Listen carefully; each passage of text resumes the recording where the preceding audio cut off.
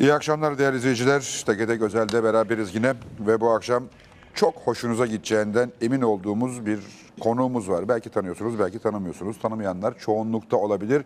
E, medyatik popüler profesörlerden değil ancak e, bu akşamdan sonra niye daha önce tanımamıştık diyeceğiniz bir e, konuğumuz var.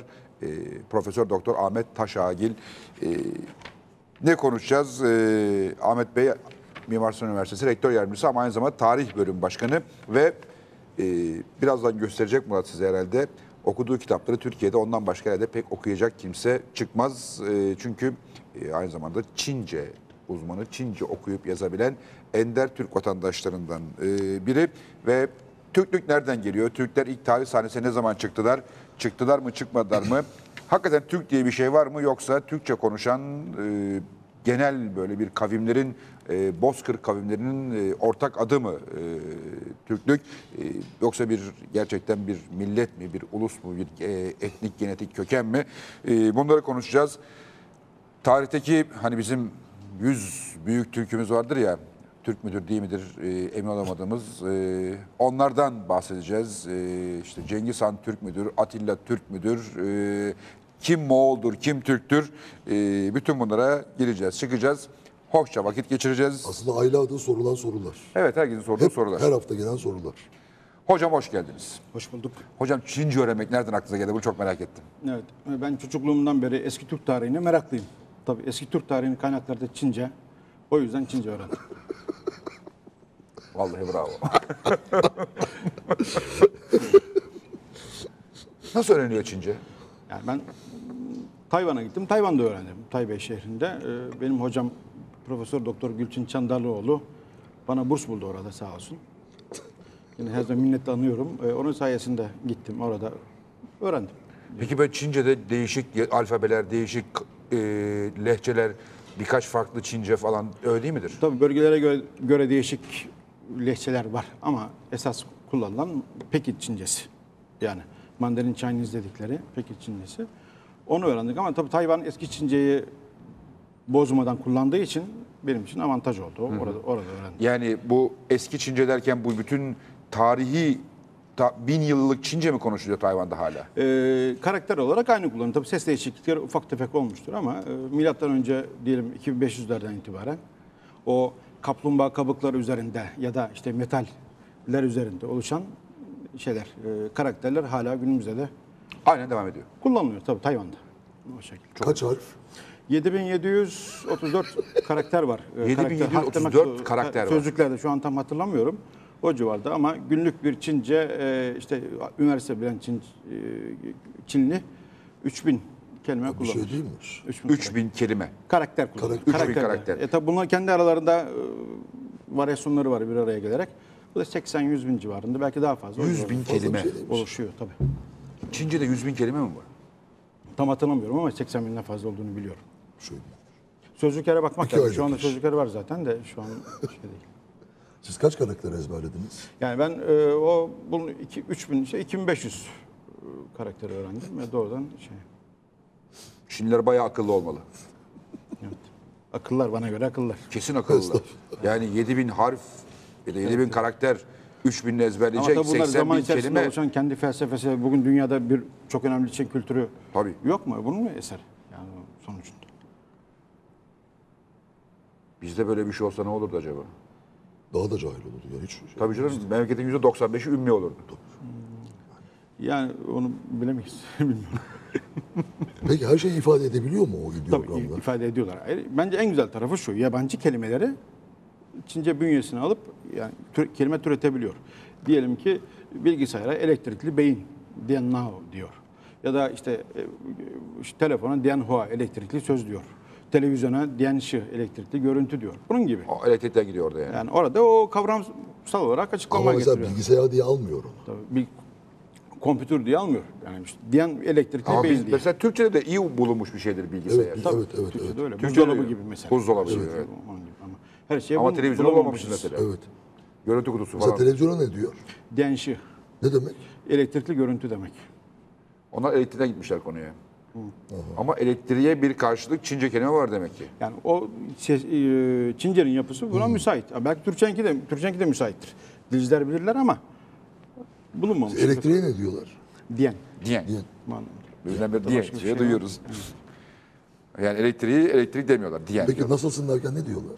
O ni hao ma, sen iyi mi? Sen iyi şey, mi? Şeklinde. Are you good? Çekim yokmuş. Yok mu çekim? Çekim yokmuş. Çekim yok. Şahane bir dil.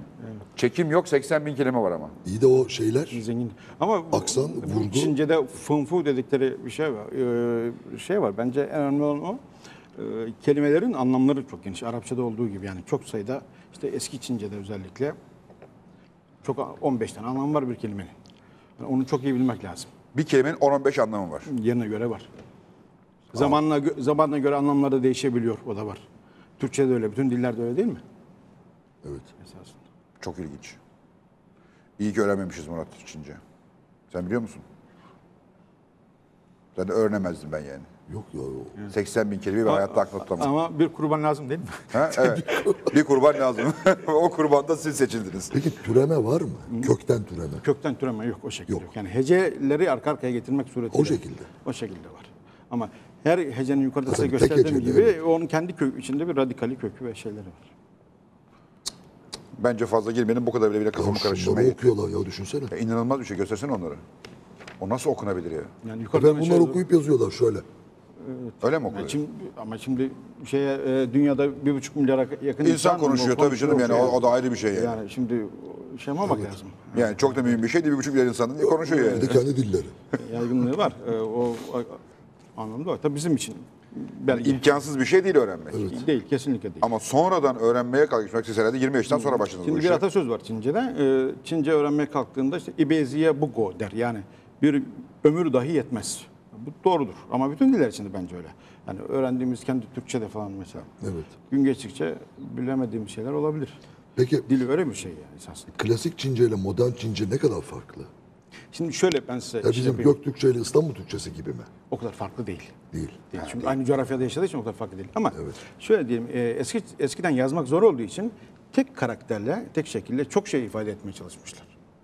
Günümüzde ise e, çok karakterle e, tek şey ifade ediyorlar. Çünkü yazmak kolay, kağıt kolay, mürekkep, bilgisayar her şey var. Bunun gibi.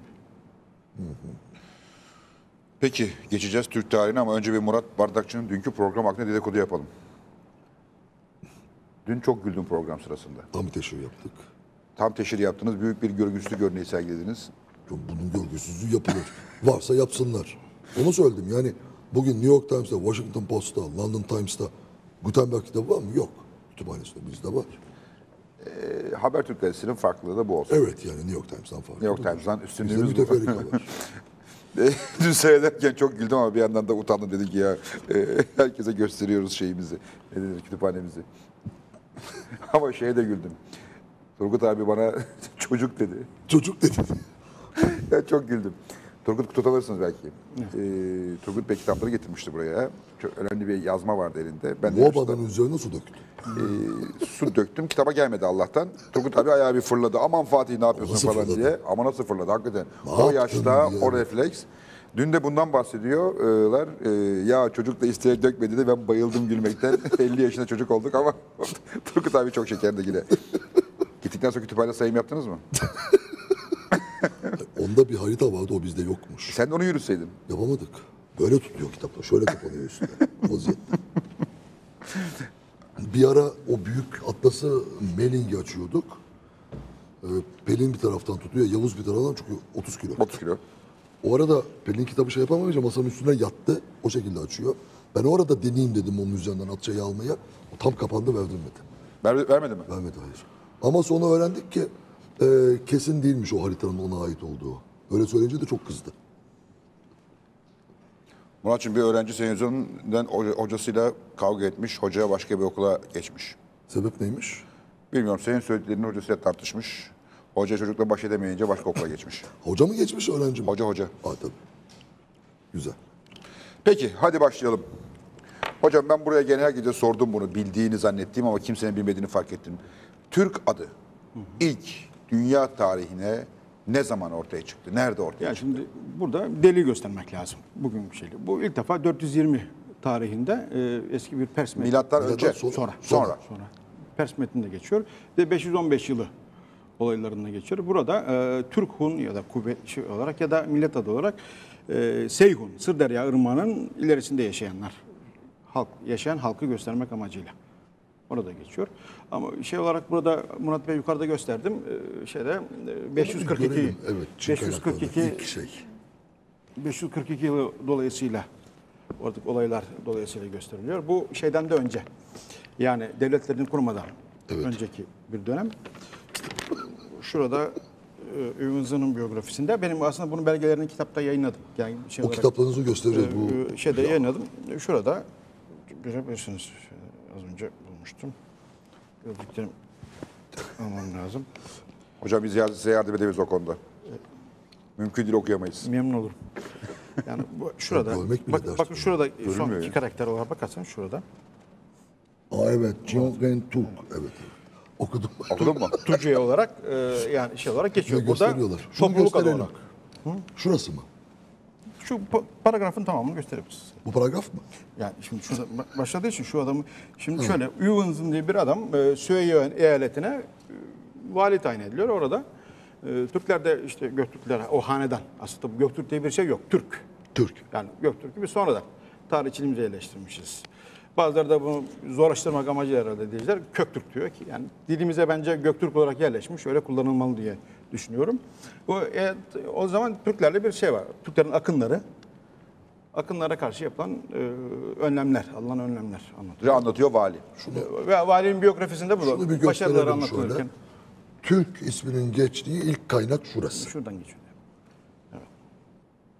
Ne diyor orada? Yani o şey olarak sadece bir o Göktürkler anlatıyor. O zaman tabii Altay Dağları'nın eteklerinde oturuyorlar ama burada onu anlatmıyor. Sadece Çin'e yapılan akınlardan ve Çinlerin buna karşı aldığı önlemler var. Ee, kış e, mevsiminde. Ee, Çinliler çünkü şöyle e, önlem almak için de e, ordu yerine işte değişik noktalara ateşler yakarak buluruz. Bu Şey. Ateşle Ee, Türkleri? ate- ateş yakarak e, büyük bir ordu varmış gibi hile Kitapta yapıyorlar, bu. gösteriyorlar. Sonra e, bu şey olarak e, Ne diyor burada efendim? Bu e, 25 tarih diyor. 25 e, hanedanın tarihi. Hmm. Onu anlatıyor. O- onun şeyi bu Coğuşu kısmı. Şurada Coğuşu esas. Jo, Jo hanedanının yılı aslında Jo hanedanın resmi tarihi demek. Bu Jo kitabı da kelime anlamı olarak e, Jo hanedanın resmi tarihi. Bunun o Üvınzı isimli şahsın biyografisinde. Esasına baktığımızda bir şey daha var orada. Ben e, bu Göktürk bölümü var, Türk bölümü. Onu göstereyim ben size. Hocam acele etmeyin vaktimiz bol. Tamam onu da göstereyim. Sabaha kadar buradayız bitmez. Öyle mi diyorsunuz? Orada da e, şeyden şeyler var. Yani bu Osmanlıca'ya benzemez bunlar diyelim. Ha, yani şuraya ne güzel. Şuradan da bu esas Türk bölümü başlıyor şuradan. Ha, Bu, bu şeyin Türklerin şeceresi bir yerde e, ne olduğu işte o meşhur Şurası. Aşina efsanesi. O ne? Doğru mu?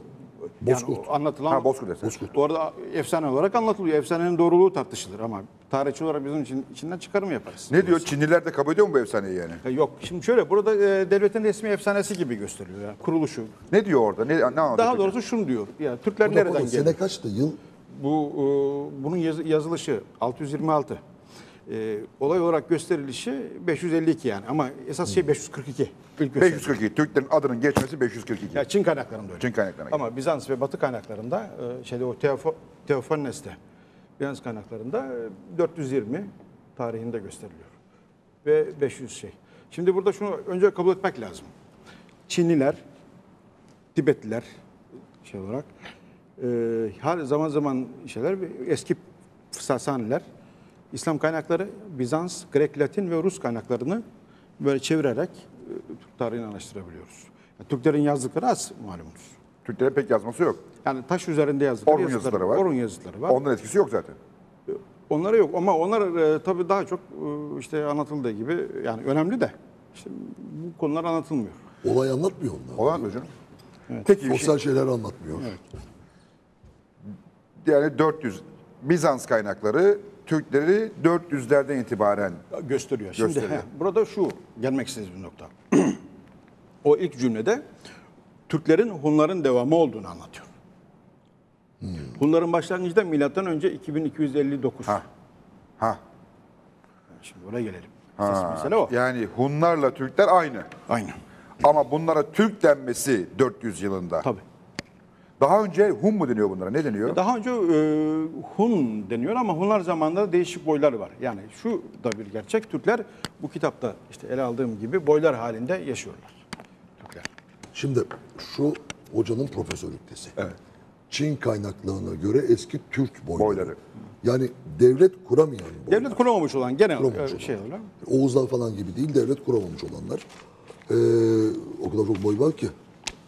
Şeyde Tolanke, Dolan, dolan Tungtien, Töleseler, Tölesler evet. Pukular. Sir Tarduşlar. Yani bunlar bozkırlarda yaşayanlar Devlet ama kuramayanlar. uzun süre 100 yıl, 200 yıl varlığını devam ettirenler. Fakat müstakil, işte Göktürkler gibi yani Göktürkler gibi, Uygurlar gibi, Hunlar gibi, Selçuklar, Osmanlılar gibi kurumlu, kurumsal bir devletleri olmayan yapılar. Göçebe topluluklar. Evet. Bu da- Şimdi şu şunu e, kabul etmek lazım. Aslında Türk tarihi bence iki yolda ilerliyor. Bunu hep öğrencilerime de anlatırım. Birincisi hanedanlar. Osmanlı'ya kadar devam eden. Bir de bunun yanında halkın tarihi dediğimiz yani halkların da Sosyal tarih. Sosyal tarih. Bu boylardan oluşan. İkisi birbirine paralel gidiyor. İşte boy isimlerin değiştirmeleri zamanına göre veya diğer adlandırmaları da çok önemli. Bu şekilde devirden devire e, adlandırılmış. En sonu Osmanlı'nın Anadolu'daki Türkmenlerle mücadelesi diyeyim yani şey olarak. Ama bunun kuzeyinde Kuman Kıpçakları görüyoruz son devirlerde. Onun öncesinde tarihin derinliklerine kadar ki orada Dinlinlerle başlıyorum. Gider yani. Kimlerle? Dinlin. Onlar ne? Onlar e, Bozkırlarda görülen en eski Türk boyu. Onlar ne zaman görülüyor? İşte Hunlarla beraber. Milattan önce 2000. Yani o yıllarda görülüyor. Evet. Peki bunlar nereden gelmiş Bozkır'a? Bozkır'da mı? Şimdi şöyle, e, orada onu da açıklamaya çalışayım. Esasında bence burada başlamak lazım. E, Arkeologların yaptığı yani yazı öncesi çalışmalara göre milattan önce 3000'lerde bugünkü Hakasya'da yani Güney Sibirya'da Hakasya'da Afanasyoba kültürü var Afanasyoba kazılara göre. Şimdi Afanasyoba kültürü burada doğuyor. O en eski Türk kültürü olarak kabul ediliyor. 1950'lerde yapılan çalışmalara göre. Yazı var mı? Yazı yok. Yazı yok. Sadece arkeolojik şeyler. Ben hepsini gördüm. Bizim bir Servet Somuncuoğlu adlı bir fotoğrafçı arkadaşım var. Ve bu araştırmacı aynı zamanda. Onunla beraber gidip gördük bir yerinde. Minisius Müzesi'nde var hepsi. Yani demirin kullanımı veya diğer şeyler. Ondan sonra 1700-1800'lerde Andronova kültürü başlıyor. Andronova, Andronova kültürünün özelliği de şu, etrafa yayılıyor. Yani Moğolistan'a, Çin'e doğru bütün Bozkır coğrafyalarına. İşte o zaman sizin dediğiniz Bozkır Türkleri başlıyor. Ama ondan önce de Sibirya Türkleri var. Sibirya, Sibirya'da Abak, Abakan bölgesinde ya başlıyor. Demek ki Ru'nun yazdığı doğru. Yani Sibirya'dan, ormanlardan geldiler lafı doğru. Yani o şey şeyden kullanıyor zaten yani kök olarak o Rus araştırmacıların yaptıklarını kullanmıştır. Genelde Akladnikov isimli dünyaca meşhur bir arkeolog var. Onun çalışmaları. Şimdi Kubarev veya vesaire çalışmaları var. Peki Yani hocam, yayınlandı. Türk nedir? Ya şimdi Türk nedir? Yani modern anlamda tarifiyle bu Hayır, bambaşka tarihte bir şey. nedir? Tarih. Tarihte nedir? Tarihte şudur. ee, Bir ırk mı? Ya şu, o laboratuvar ırkçılığına gitmezsek Orta Asya'da yaşayan topluluk. Aynı mı? Homojen. Yani bunun homojenliği bana göre homojen. Hocam nasıl homojen? Sarışını var, esmeri var, çekik gözlüsü var, yuvarlak gözlüsü var, Ama- yuvarlak kafalısı var, sivri kafalısı var, çenesi önde olanı, çenesi arkada olanı var. Yani Ama bu, bunu- bu- bugün biz söylüyoruz. Şimdi Murat Bey'in sorusu geçmişle ilgiliydi. Geçmişle ilgili. Ben geçmişte onu söylüyorum. Geçmişte şey yok. Birincisi bu ama bizim normal tipimiz eski Türk tipi yani heykellere baktığımızda aynı şeyi görüyoruz zaten. yani hafif çekik gözlü, Evet. çok da açık Mesela renk siz olmayan. Veya ben veya Murat Bey aşağı yukarı Anadolu'da bu. Şimdi çekik Yani gözler daha çok miyiz? daha çok sorulan şeyler. Yırttık. Ben daha çok. Ee, Hayır ben daha çok. e, Şimdi daha çok bu yani Orta Asya'dakilerle ilgili soruyor. Onların tabii daha çok Moğollarla karışmaları. Evet, Moğollar- Ondan dolayı. Peki Moğol Türk mü? E Şimdi bir, o da ayrı bir konu. Moğollarla e, Türkler arasında bana göre kesin bir sınır yok. Burada onu yazdım. Aslında Moğol boylarını almadım buraya. Almayı da bir an düşündüm. Moğollarla Türkler arasında bir sı- sınır yok. Fakat Moğollar eski zamanlarda Moğolistan'da yaşamıyorlar. Daha doğuda Kerülan Irmağı'nın yanında. Daha da doğuda. Tabii daha doğuda ve Buryatya'daki ormanlarda yaşıyorlar. Yani orman Moğolları ve Bozkır Moğolları var. Cengiz Han'a kadar. Türkler batıya gelince, o bölgeyi terk edince Moğollar oraya geliyor. 840'tan sonra 960'lara doğru o bölgeye Moğollar geliyorlar. Ve Moğol ismi ilk defa 750'li yıllarda Çince kaynaklarda Mun-u olarak geçiyor. Ondan önce yok. Ve ben mesela orada dil dilcilerin de mesela ben İngiliz Clauson'un bir görüşü vardır. İngiliz Türkçenin etimolojik sözlüğünü yazan. Ben ona bence de, ben de katılıyorum. 13. yüzyıla kadar Türkçe ile Moğolcayı pek ayırt edemeyiz. Aynı Ama mı değil? e, aynı dil gibi görünüyor. Oradakiler için. Orada, oradakiler için tabii. İşte şeyden sonra. Çünkü e, bazı ünvanlar aynı gibi görünüyor, bazı şeyler aynı gibi görünüyor. Yalnız e, dediğim gibi o dönemlerde yani proto Moğol diyebileceğimiz işte en kalabalık olan Şiveyler vardır. Ama Şiveylerin ilk cümlesi de şudur. Türkler gibidirler. Türklere benzerler. Yani o tam kesin sınırı tespit edemiyoruz bence. Peki hocam o ilk dönemlerdeki e, kuzeydeyken daha Türkler dil biliniyor mu? Ne konuştukları? Şimdi e, Yazılı kaynak yok Hunca bir, birkaç tane söz var. Hunların diline ait ve e, Nançi şu da kayıtlı. E, Tapkaçların dönemine ait. Bunlar Türkçe açıklanabiliyor. Yani filologların işi daha çok. Ben çalışmadım açıkçası bu konuda ama esas dil Göktürkler zamanında. Ortaya çıkıyor. Tabii. Yani Yani 550'lerde. 500'lerde. 550'lerde. Ortaya çıkıyor derken yazılı kaynağı mı kastediyorsunuz? Türkçenin gelişmesi. Türkçenin gelişimi anlamında. Gelişimi Şu- Bir de şunu, e, burada iki kayıt var bence çok önemli. Birincisi Bizans kaynaklarında. E, 520'li tarihlerde İncil'in Türkçe'ye tercüme edilmesi anlatılıyor. Ama metin elimizde yok. Acaba Grek harfleriyle mi tercüme edildi? Yoksa ne kullanıldı bilmiyorum. Demek ki Türkçe var. Sabarlar zamanında. Benim dediğim. Belki Kafkaslar- Uygur harfleriyle ediliyor acaba. Yok. Şeyde Sabarlar zamanında o şey, Kafkaslarda ya şeydir yani büyük ya Grek harfleriyledir ya da Runik. Runik de olabilir bilmiyoruz. Bir de e, 576 yılında Budistlerin kutsal kitapları Türkçe'ye tercüme ediliyor. Onda da e, bir rahip işte şeye geçiyor. O Taspar Kagan var. Şey Budizmi kabul eden ve 582 yılında onun kitabesi var Bugut kitabesi olarak. Şimdi orada e, o metinler nasıldı? Elimizde olsa daha fazla Türkçe hakkında e, şey bilebiliriz. Kelime. Hala Budist Türkler var değil mi? Var. Tuvallar mesela. Evet. En çok şey. Hala Budist değil mi? Ona Hala Budistler. Çok koyu Budistler. Peki e, o ilk Türkler peki bir medeniyet var mı? Çünkü benim bildiğim kadarıyla e, Orta Asya'da demiri işlemekle ünlü Türkler. Yani demiri işleyebilen ender kavimlerden ya da ender topluluklardan bir tanesi Türkler. Doğru mudur bu? Doğru. O bahsettiğim bölgede işte Afanasya özellikle Andronova kültürünün iki temel özelliği Neresi var. o? Andronova aynı işte Abakan'da. Orada bir bölgenin adı. Bir şehrin, kasabanın adı. Sibirya'da bir kasaba. Hakasya'ya bakarsanız ve Hakasya'da, Ab- Abakan Hakasya'da, şehrine olarak bakarsanız orada. Bunların bütün ürünleri Minnesus Müzesi'nde, 1820 tarihinde kurulan Minnesus Müzesi'nde. O bölgede baktığımızda demirin açıkça işlendiğini görüyoruz zaten şey olarak. Bir de atın evcilleştirilmesi. Evet. O sayede etrafa yayılıyor. O Türklere mi mahsus evcilleştirme? Bence öyle. Çünkü bazen değil falan Olabilir diyenler bir var. şey. De- diyenler varsa ispat etsinler. Bilmiyorum. Atın ilk evcilleşimi yoksa bu taraflarda evcilleştirilmiş atlar var. Yani, yok, tabii. İlk defa orada evcilleştirildi ama daha baş- başka yerlerde de var. Bir de süvari olarak binmek. Şimdi araba olarak kullanmak var. Yani araba bir de at şeyinde. Yani o açıdan e, temel unsur odur. Avrasya coğrafyasında yani bunun bir ucu Kuzey Kore, bir ucu Macaristan bozkırları. Gidip gelme şeklinde nüfus hareketleri. Mesela her 100 yılda bir Orta Asya'dan Avrupa istikametine büyük göç hareketi olmuş. Bizim bildiğimiz tarihte. Niçin? İklim şartlarından dolayı özellikle. Ben size şöyle bir örnek vereyim. Batı Kazakistan'da bir hayvanın otlayabileceği, yiyebileceği ot sayısı 7. Doğu Avrupa'da 2000.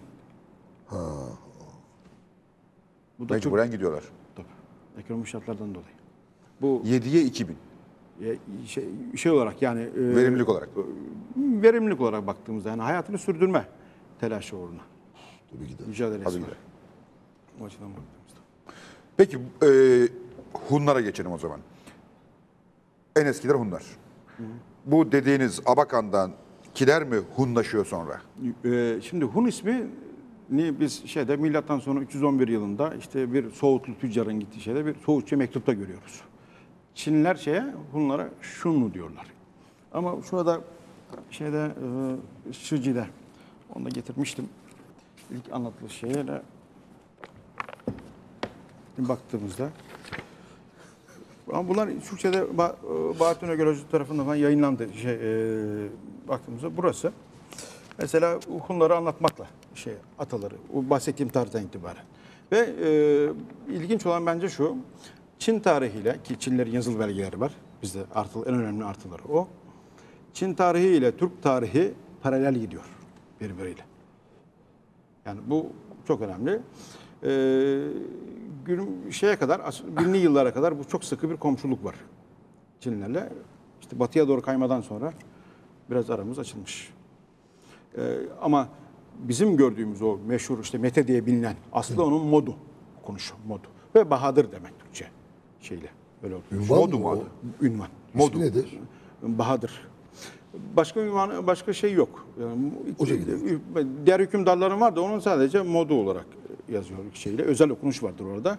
Mautun ya da Motun yazılışı yanlıştır. Mete yazılışı da yanlıştır. Modu. O Türkçe Bahadır kelimesinin Çince Karşılığı. karşılığıdır. Yani aslında Metin adı Bahadır yani aslında. Bahadır dememiz lazım. Ya Türkçe Bahadır- Türkçesiyle Bahadır diyorum tabii. Ünvan mı? İsim mi? Şimdi tahta çıktıktan sonra Çinlerin yazdıklarının genelde hepsi bilge kavramıdır. Ya, ünvandır. Onun gibi. Özel isimleri vardır çocukluklarında ama o modunun yani metenin yok. Yazmamışlar. Yani Mete var. Mete var, var. Var. Mete var ama Türkçesi, Çincesi Mete, o da modu. Modu. Modu olarak o milattan önce 209 yılında başa geçiyor ve 174 yılına kadar tahtta kalıyor. Esas ilk devleti kuran yani daha doğrusu bizim bulabildiğimiz ilk stratejist devlet adamı her yönüyle kurumsal bir yapıya kavuşturan Ama o zaman Türk denmiyor herhalde ona. Hun deniyor tabii. Hun Bunu deniyor. deniyor. Kavuşturan o mu? O, İlk. tabii Mod. Onun babası var Toman. İlk bildiğimiz hükümdar da o. Teoman dediğimiz Teoman o. dedi- o. Milattan önce 221'de kaynaklarda zuhur ediyor. Bunun geçmiş, geçmişe doğru gittikçe mesela 315'te Hunlarla Türkler arasında bir anlaşma yapılıyor.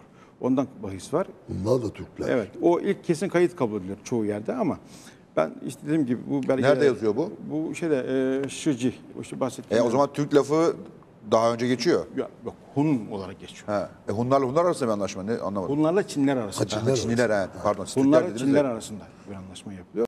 Bu geçmişe doğru gidiyor ama tabii her alanda böyledir. Yakınlaştıkça malzeme çoğalıyor. Biz de açık bilgilere kavuşuyoruz. Yani sizin ilk Türk adının ortaya çıktığı milattan sonra 542 Ne be- Türk kelimesini diyorsunuz. Ben siz. Türk kelimesini diyorum ama bu Çin kaynaklarında. Bizans kaynaklarında evet, 421 ya veya Batı Ama daha önce Hun var. Hun ismi daha önce var tabii. Var. Ha.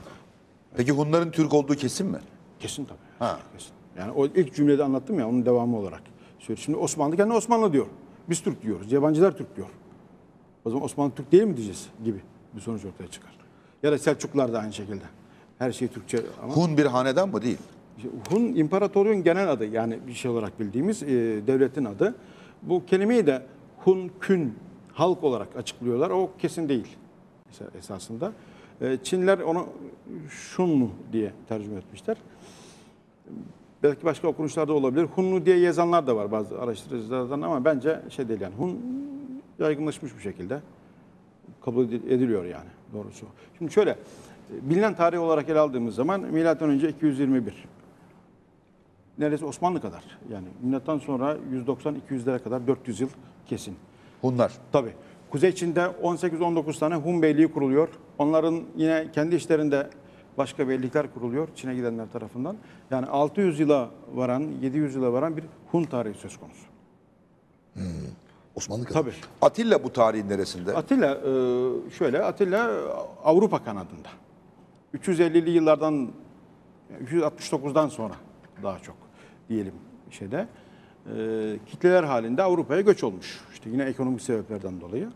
Atilla bunların e, işte ilk Yıldız, Balamır gibi şey 434'te yanlış hatırlamıyorsam şu an başa geçip 453'e kadar yani yöneten biri. Önce kardeşiyle yönetiyor şey. Avrupa Hunlarında. İsmi Yani nedir o, o kaynaklarda? Attila Attila Attila olarak O geçiyor. şey aynı. Geçiyor. Bleda Bleda mı gene? Bilada kardeşi? Bilada o şekilde. Kardeşi. Kardeşi. geçiyor. O zaten o- onların hiç Türkçe kaynağı hiç Türkçe şey yok. Ee, isimleri yok. Ya Got dillerinden duyarak yazdı Bizanslılar ya da Latin kaynakları, Grek kaynakları ya da e, kendilerinden duyarak o şekilde.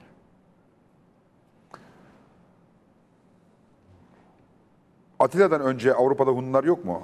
Atilla'dan önce var. Dediğim gibi 100 yıl önce var. Yani e, 350'lerden itibaren var. Bunun daha öncesinde Peki Atilla orada mı doğuyor ve orada mı başa geçiyor yoksa Şimdi- doğuda doğup oraya doğru mu geliyor? Açıklama şöyle, e, Atti isminden dolayı Macar filologların açıklamasına göre Attila İtil Irmağı'nın kenarında doğdu şeklinde. Yani At- İtil Irmağı'na İtilli anlamını İtilli vermeye anlamında, çalışıyor ha. Attila. Oradan şeye Yere izafet yapıyor. izafeten açıklama yapıyorlar. Ama tabii bu filolojik meseleleri ben de bilmediğim şeylere pek girme, girmem yani. O şey. Yani doğudan gelmiş sonuç olarak Tabii baktığınızda. Yani ama o hanedan ve halk doğudan geliyor. Fakat Avrupa Hun Konfederasyonu'nun içerisinde işte Gotlar, Germenler, başka halklar da var. Yani bir konfederasyon, imparatorluk. Peki Germenler nereden geliyor? Şimdi Germenlerin e, Hint Avrupa şeyinde esasında e, yani son benim okuduğum şey Karadeniz'in kuzeyinde meydana geldikleri değil mi? şeklinde. Bu Sanki böyle Ukrayna'dan gitmişler gibi bir hal var yani. biraz daha batıdan ve Ukrayna oradan gelmiş gibi söylüyor ama daha da geriye gittiğimizde Hint Avrupa halklarının Karadeniz'in kuzeyinde ikiye ayrılıyor. Bir C'li, S'li diyorlar ki Kantum, Sentum dedikleri. Yani biri Hindistan tarafına, Hintlilerin İranları oluşturan grup bir de batıya gelen o şekilde açıklamalar var. Oradan gitti. Ama bunların hiçbiri kesin değil bakın. Tabii, yani tabii. Yeni araştırma, çoğu teori yeni araştırmalarla, değişik açılarla Pardon Hindistan'a değerlendirilebilir. o taraftan mı gitti diyorlar. Evet, en son öyle okudum ben. Şimdi yeni teori o. Yani Hintlerin Zaten batıdan o gittiği. Kafkasyalı da oradan geliyor. Yani bütün bu kavimler oradan çıkıp üreyip Yani- Karadeniz'in kuzeyinden Yani- çıkıp üreyip Kokazyen- yayıldıkları için. Evet. Şimdi bir şey daha Kaukajya. var burada. Yani eski devirlerde, geçmiş doğru gittikçe bunlar da teori. Benim Kazak bilim adamlarından duyduğum şeyler var. Arkeolog ve bu Neolitik devirlerle uğraşanlar. Dünya daha sıcaktı ve kuzeyde daha gelişmiş uygarlıklar Uygarlıklar vardı. Şeklinde teoriler de var. Hatta Karadeniz daha çökmemişti o zaman Karadeniz karaydı diyenler de var. E, O şekilde düşünen yani e, geçmişe doğru gittikçe e, şeyimiz var. Bir ara verelim de devam edelim sonra şu reklam arasını verelim.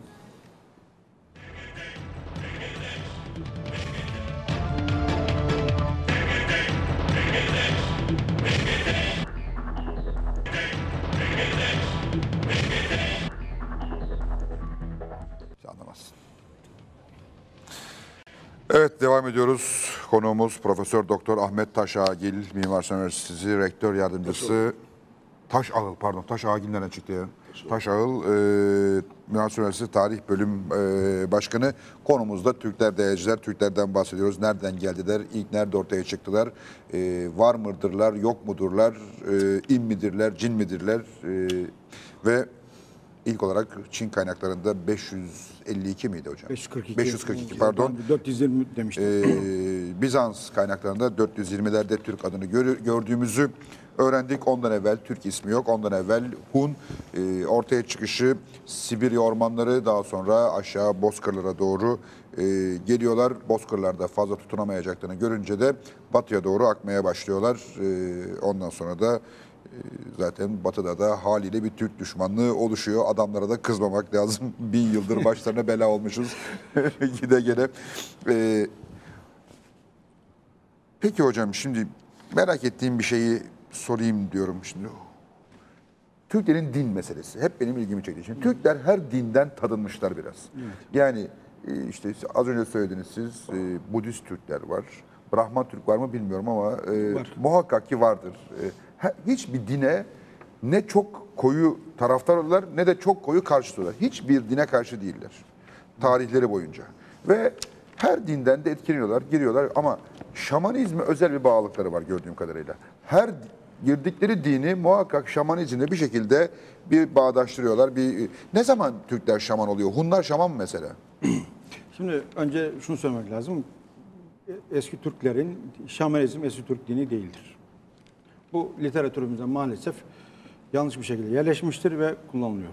1696 yılında bir Rus işte, e, elçiler Çin'e giderken Tunguzların arasına uğruyorlar. Orada şaman kelimesini görüyorlar ve e, şaman kelimesini daha sonra Batı dünya literatürüne sokuyorlar.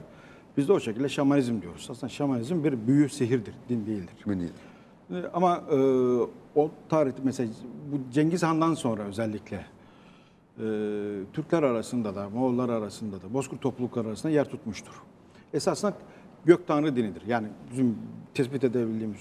Burada bahsettiğim belgelerin her bir hepsinde Türklerin hukuku, evlenme adetleri, kızların futbol oynaması mesela ya da devlet teşkilatı, Futbol Futbol kızlar oynuyor. futbol her şeyi futbol mu var Türklerde?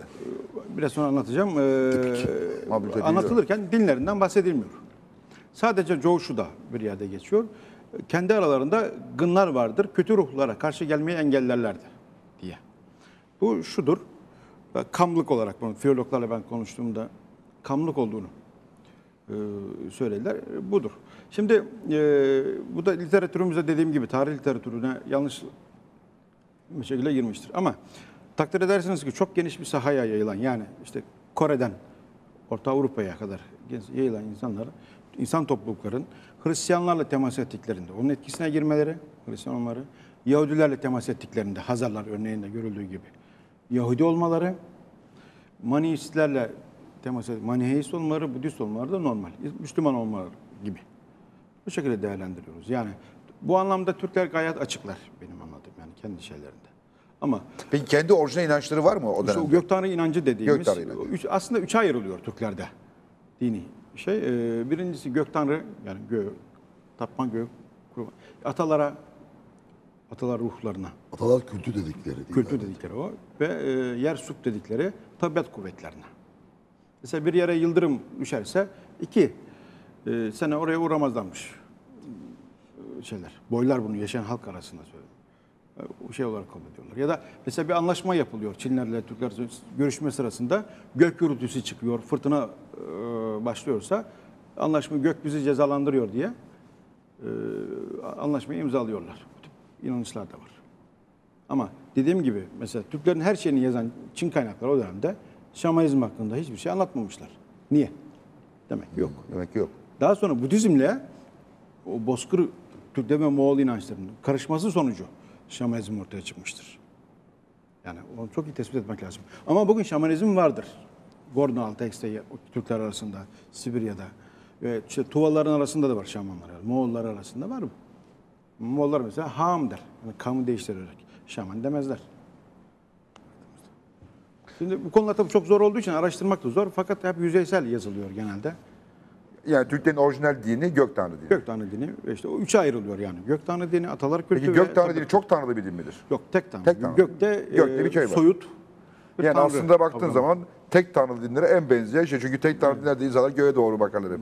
Kökten Peki ya gö- sular dediğinde Ya, tabiat kuvvetleri. Tabiat tabii, kuvvetleri. tabii yerin altındaki şeyler e, akla geliyor. Bunu dualist felsefede Biraz mitoloji gibi yani Yunan mitolojisi gibi. tabii yani yer, yer altındaki işte kötülük tanrıları gibi şeyler de açıklanıyor. Neydi? Hades miydi yer altındaki tanrı? Diyorsun? Hiç. Şey, e, yer altında yani ve tabiattaki şeyler, sular, ağaçlar yani o dünyada mevcut olan bazı şeyler var. Yani ateş mesela belki orada açıklanabilir ama e, temelde bu. Üçe ayırmak lazım. E, fakat Bozkırlar yani dinleri din- kolayca din değiştiriyorlar. Demek ki Budist oluyorlar, Maniheist oluyorlar. E, şey oluyor. e, Hristiyan Yahudi. Burada bence Çinli bir rahibe Türk Kaganlığı'nın bir sözü var. Ona bakmak lazım. Diyor ki Çin niye bu kadar bayındır Çin ülkesi? Mamur, gelişmiş. O da diyor karşılığında çünkü orada Budist öğretileri uygulanıyor ondan. Bunun üzerine Kagan Hakan Çin'e e, Budizme meylediyor. Orada rahipleri istiyor, kitapları istiyor ve bir tapınak yaptırıyor. Etrafında dolanıyor. Yani Moğolistan'ın, Orta Asya'nın zor şartları insanları daha e, başka sıcak bölgelerdeki kültürlere hani hayran olmasına yol açmıştır diyebiliriz bence. Bu benim yorumum yani benim kendi okuduğum çıkarımım. bu. Peki Çok Çin. Seddi'nin Türklere karşı yapıldığı doğru mudur? Türklere ve bütün kuzey halklara. Yani sadece Türklere yapıldı demek doğru değil. Bugün ayakta kalan zaten 1500'lerde Min Hanedanı döneminden kalanlar. Eski şeyin daha biraz daha batıda. Ee, bu şeyde ilk temellerin milattan önce 770'lerde köylüler kendi kendilerine atıyorlar. Kuzeylilere karşı kendini korumak için. Esas yapılışı da milattan önce işte 240 220 arasında o meşhur çok zalim bir hükümdar vardır. Çin Shi Huangdi.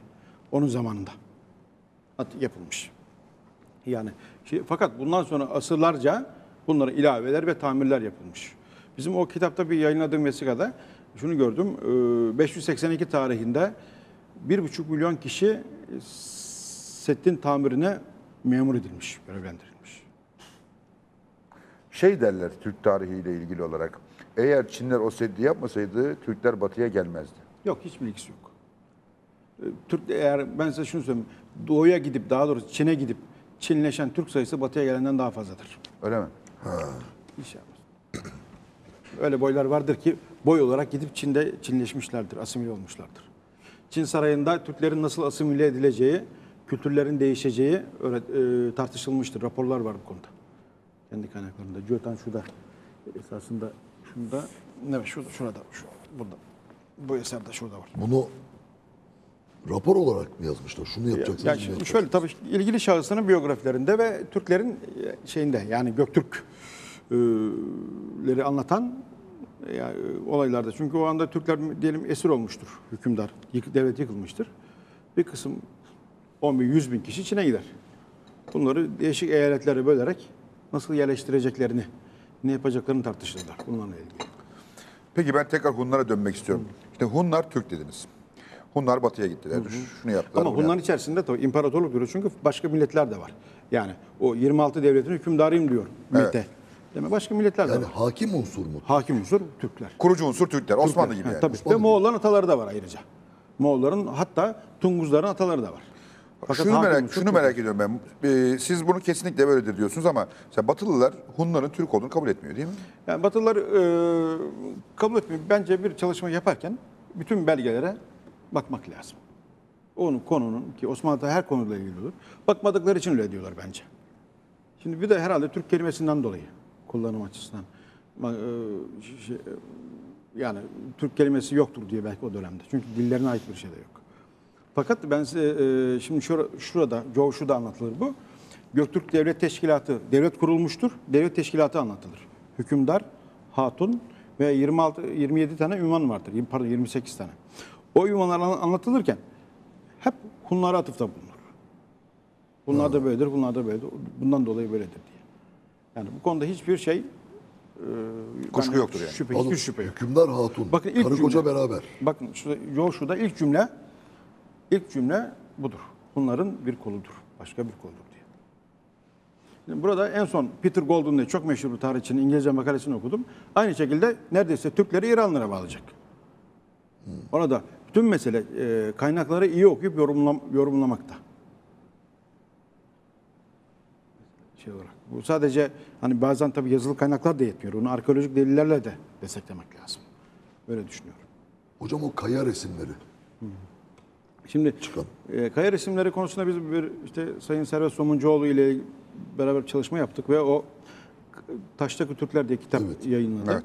Orada bütün Avrasya coğrafyasında e, bizim gittiğimiz en doğuda Ulan Ude, Lena ırmağından yani Sibirya'dan Anadolu'ya kadar her tarafta bütün kaya resimlerini araştırdık.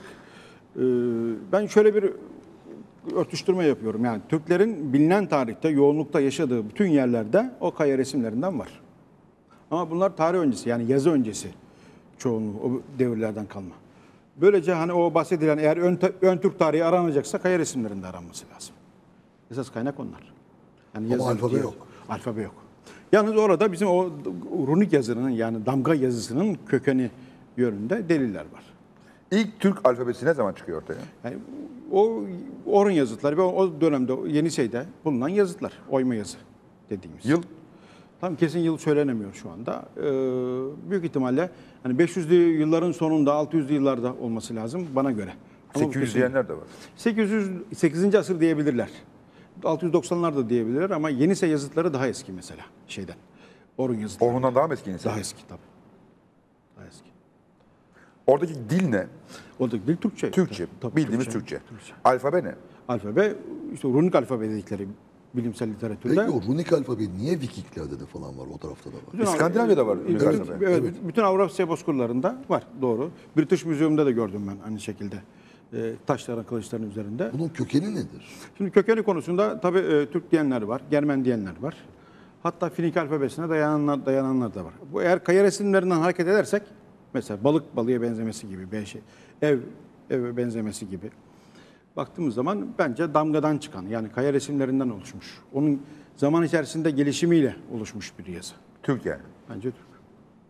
Evet. Ama bunun başkası ispat ederse ben kabul ederim. Onun bir şey demiyorum. Peki kaya resimlerini resim yapmak için mi yapmış? Yok, kaya resimlerine e, resim Bir yapmak nevi için- hieroglif gibi galiba onlar. Hieroglif gibi de değil. e, şöyle bir anlam. Anlam yani. Bir, bir anlam Resimlerle bir şey Tabii. çalışıyorlar. Şimdi ben bunları ilk gördüğüm mesela Kazakistan'ın Tamgalı Say var. Onları gördüğümde kitap gibi dedim. Çünkü bir şey çünkü doğmak, üremek, evlenmek, ölüm, din her şeyle hepsiyle ilgili motifler var. Şeyler, resimler var. Kitap diyordum. Bir Kazak meslektaşım bana e, Sayın Ayman Dosun Bey'e şey dedi. Biz bunlara e, ansiklopedi diyoruz dedi. Genişlikte. Ve daha da enteresan o Doğu Anadolu'daki işte Hakkari'deki mesela, Kars'taki, Erzincan'daki, Ordu Mesudiye'deki yani burada kaya resimleri, Kars'taki kaya resimleriyle e, Moğolistan'daki, Tanrı Dağları'ndaki, Saymaltaş'taki, Kaz- Kazakistan'daki kaya resimlerinin kodları aynı. Aşağı. Allah Allah. Evet. Yani o dönemde Türkler Tabii buradan bu- yaygın bir coğrafyada. Evet, bunun belgeseli yaptı, bir yayınla- yayınlandı bir şekilde. Peki o resimleri yaparken bir şey mi anlatmak istiyorlar? Tabii her birinin ya, bir entelektüel bilgi arayışı var mutlaka ama Yani gelecek çözülemeyen nesiller için bir yazı olabilir mi bu? çözülemeyen yazı olabilir. O, o şekilde düşünülebilir. Ama her şekilde bir anlam var. Ve zaman içerisinde mesela atı ilk önce at gibi çiziyorlar önce. Sonra onu şey- sembolleştiriyor. Sembolleştiriyorlar. O yüzden runik alfabenin kökeni diyoruz. Mesela hieroglifte e, o Şampolyon şeyden çözdü onu. Ra. Güneş Tanrı'dan çözdü, oradan geldi. Bir yazının devamı geldi. Bu kaya resimlerinde de öyle bir ihtimal var mı? Bence var. Bence var. Ha, Emin değilim ama bence var. Şimdi bu işte ön Türk tarihi eğer araştırılacaksa dediğim gibi kaya resimlerinde araştırılmalı. Burada var. Bunun Avrupa yani Macaristan'a kadar Kosova şey gibi Karadeniz'in kuzeyinde. Hatta o arkadaşım şeyde en son Kanada'ya gitti. Oralarda da varmış. Yani Kanada'da da çok sayıda olduğu söyleniyor. Tabii. Formda. Ama bizim- Kızılderili kültürü gibi düşün yani o. Şeyde şimdi şöyle e, bilimde, ilimde abartıdan kaçmak lazım. Önce hani kendi kendimizi kandırmamızın bir alemi yok. Kesin olarak ispat edip bunu topluma öyle sunmak lazım. Şu anda kesin bir şey yok ortada. Yani o dediğim benim şu anda söylediklerim doğru ama bundan sonra başka bir şey bulunursa biz de kabul ederiz. Macarlar Türk mü peki bu anlamda? Macarlar Türk değil. Macarlar bizim akraba bir kavim. Urallardan ortaya çıkma. Ee, binli yıllarda biraz da peçeneklerin ve kumanların baskısıyla şeye Macaristan önce Karpat Dağları'na gidiyorlar. Daha sonra Macaristan'a yerleşiyorlar. Şimdi biraz da Hazarların orada katkısı var herhalde. Hazarlara bağlanıyorlar. Hazarların da e, doğudan peçenekler gelince yani domine etkisi yapıyor bir yerde. Batıya doğru sürülerek e, önce Romanya'daki Karpat Dağları'na Yani Hungari Hunga, Hunlardan gelmiyor. Yok, o Hungari Hunlardan geliyor. Ama Macarlar Avrupa'da Hun mirasına sahip çıkıyorlar. Zaman içerisinde Katolikliği kabul ediyorlar, Hristiyan oluyorlar ve şey var. Yani orada Zaten Türk olamazlar bence. Türklerden daha yakışıklılar çünkü. o sizin görüşünüz. Ama e, Hocam en azından kadınları daha güzel onu kabul ederim. ama Macaristan'da Kuman köyleri var hala. Var. Kumanlarda, Kıpçaklarda. Peki Finliler Türklerle akraba İşte mı? Finler de Macarlar daha yakın birbirine. Yine Ural Altay ailesinden geliyorlar. Bir Kore Koreliler çok uzak akraba. Kore ve Japonya. akraba ama. Yani Onlar da mı akraba? olarak, dil olarak akraba. Ha, dil olarak. Dil olarak. Yani eklemeli dil. Budur ben biliyorum. Şimdi aynı kaya resimlerinde Koreliler de kendi atalarını arıyorlar şimdi. Japonlar da kendi atalarını arıyorlar. Bizim de aramamız normal. Hani şey içerisinde. Ha ben şunu yani iddia ediyorum. Türklerin bilinen tarihte, bildiğimiz belgeli tarihte yaşadıkları yerlerde e, yoğun, kaya resimlerin hepsinde mevcut. Çok enteresan. çözülmeyi bekliyor demek ki. Alfabe gibi diyorlar. Çözülmez bu iş ya. Yani o yorumlanabilir en azından Evet, şimdilik. yorumlanabilir. Ve bunların her birinde ayrıca zaman runik alfabe, runik yazı var. Yani Türk yazısı var ve bir şeyler anlatılıyor.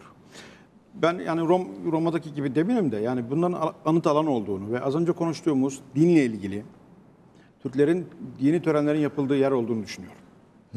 Bunun en iyi örnekleri Moğolistan'da Mandalhayrhın diye bir bölge var orası. Kazakistan'ın Tamgalısay, Kırgızistan'da Saymaltaş olabilir. Peki hocam bugün Anadolu'da yaşayan biz Türklerin yani göçüp de buraya gelmiş Türklerin kökeni hangi Türkler? Çoğunluk Oğuz ama Kıpçak da var, Peçenek de var. e, büyük çoğunluğu Oğuz. Peki Alperen yazıtları diye bir şey var mı? Alperen yazıtları diye bir şey var mı? Ben yeni duymadım. çıktı. O bana da geliyor. Evet böyle bir soru. soru soruyorlar çünkü sürekli. Ben duymadım. Bilmiyorum. Yok böyle bir şey. Hikaye. Ben duymadım, bilmiyorum. Peki beyaz piramitler? Şimdi beyaz piramitler konusu Şu bize aylardır her gün bu sorular. Konu ne olursa olsun bu skor, bu iki soru soruluyor da ondan soruyoruz. Evet. Şimdi beyaz piramitler konusu ben olduğu gitmedim. Fotoğraflarını gördüm. Siz de görmüşsünüzdür Evet. belki. O Kuzey Çin'de ama eski Türklerin yoğunlukta, Hunların, Göktürklerin, Uygurların ve Dokuz Oğuz boylarının yoğunlukta yaşadığı yerde. O bölgede. Bir e, Çinli arkeoloğa sordum o bölgede gezen. O dedi ki Hunlar zamanından kalma piramitte benzer e, anıtlar var ama gidip göremedim. Yani gö- o bakımdan bir şey diyemiyorum. Hunlar zamanından kalma. Evet, o döneme tarihliyorlar. Yani 2000. Yani mi- milattan önce e, yani 2000 demek zor. Şimdi arkeolojide öyle. Binli, binli tarihler verir. Tarihte kesin şey vermek lazım. Milattan önce 300 diyelim. Yani. 300. Ha yeni yani. Peki hocam şimdi ben, ben bunu söylüyorum. Ee, Türkler de bana kızıyorlar. Ee, sanki ben Japonmuşum gibi. Ben biz, bizim Türk medeniyetini biraz geri buluyorum. Ni- yani bu bende ben Türklüğüne çok övünürüm falan çok da hoşuma gider ama bir sergiye gittim ben. Ee, Sabancı Müzesi'nde Türkler diye bir sergi vardı. Gittim bir tane taş. Bildiğiniz büyükçe böyle bir taş. üstüne taşın üstüne belli ki taşla böyle bir kaş göz yapmışlar. Bir göz yapmışlar ama göz göze benzemiyor. Üstüne de kaş yapmışlar. Bir de ağız burun yapmışlar. Yemin ediyorum ki 4 yaşındaki çocuk yapar. Bilinen ilk Türk heykeli diyor altında böyle yazıyor. Dedim ki herhalde milattan önce 5000 yani gelişmişlik düzeyi o düzeyde. Sonra bir okudum 800 yazıyor üstünde. Milattan sonra çağdaş. 800. Ayasofya'dan 300 yıl sonra bu arada Anadolu'da adamlar böyle heykeller meykeller yapmışlar. İnsan zannedersin canlı gibi yürü kalkıp yürüyecek. Yani dedim ki eyvah biz bunlardan eyvah eyvah dedim. Yani biz iyi aşama kaydetmişiz bir anlamda bakarsanız. Yani bugünkü durumumuz müthiş. Yani arada bir bin senelik bir farkı kapatmışız biz hızla. Şimdi bunu, Yanılıyor muyum?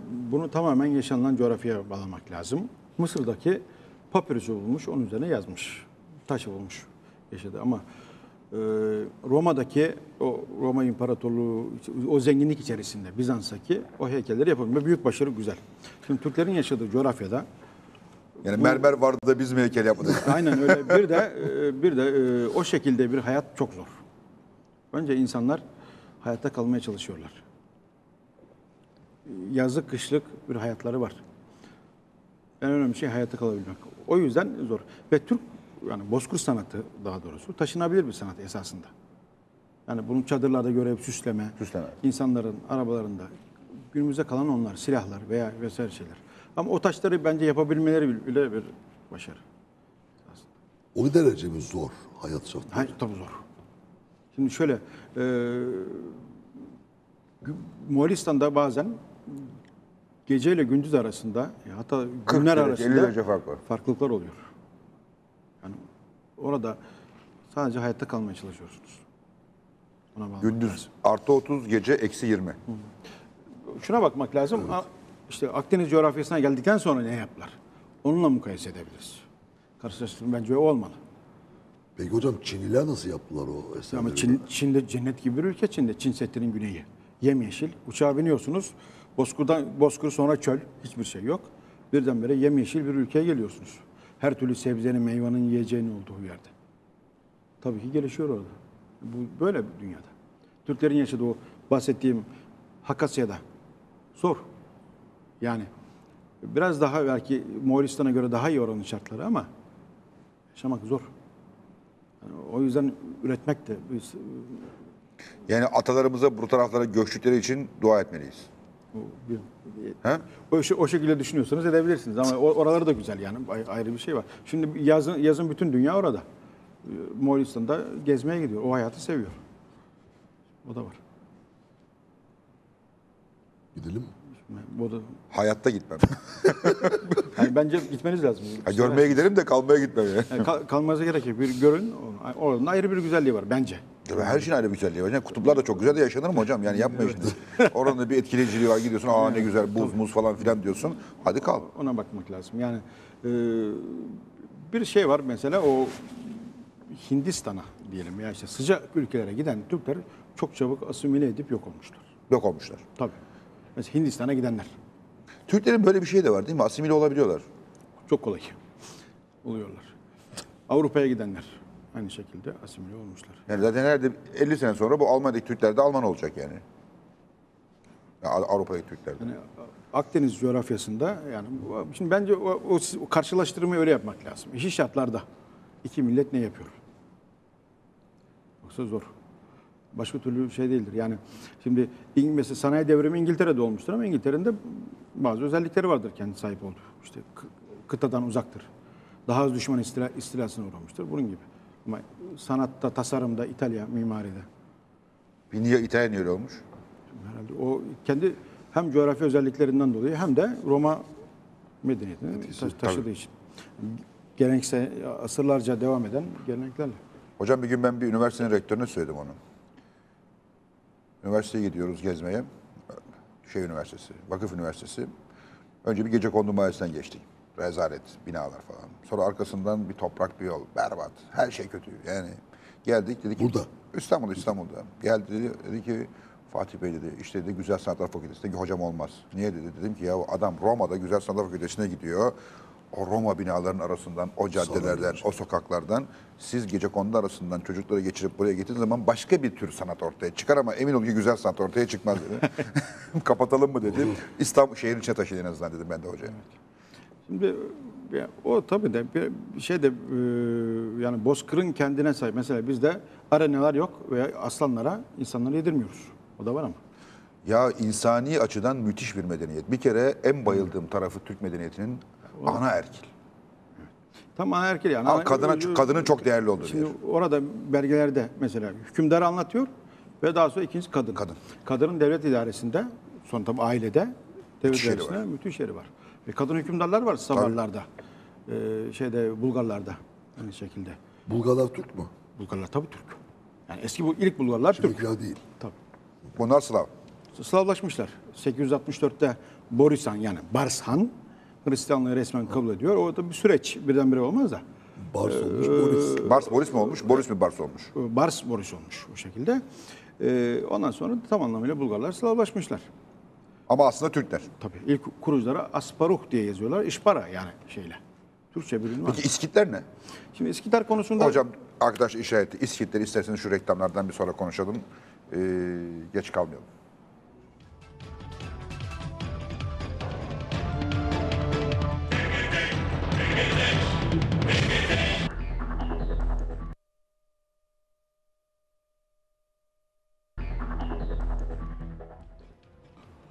Evet. İskitler'de kaldı. İskitler'de kaldık ama biraz maillerden söyleyeyim. İşte vatandaşlardan çok sayıda mail geliyor. Yine on binlerce mail geliyor tahmin ediyorum. Ee, bu programı yayınlamamızı istiyorlar. Yayınlamamamız. Evet. Niye? Çünkü e, çocuklar zora girmişler. Gençler. Bir okullarda öğretilen tarih varmış. Bir de Murat Bardakçı ve Fatih Altaylı'nın programında gösterilen tarih varmış. Bu iki tarih birbirini zaman zaman örtüşse de genelde örtüşmüyormuş. Hangisi doğru bu tarihlerden? Tabii ki bizimki.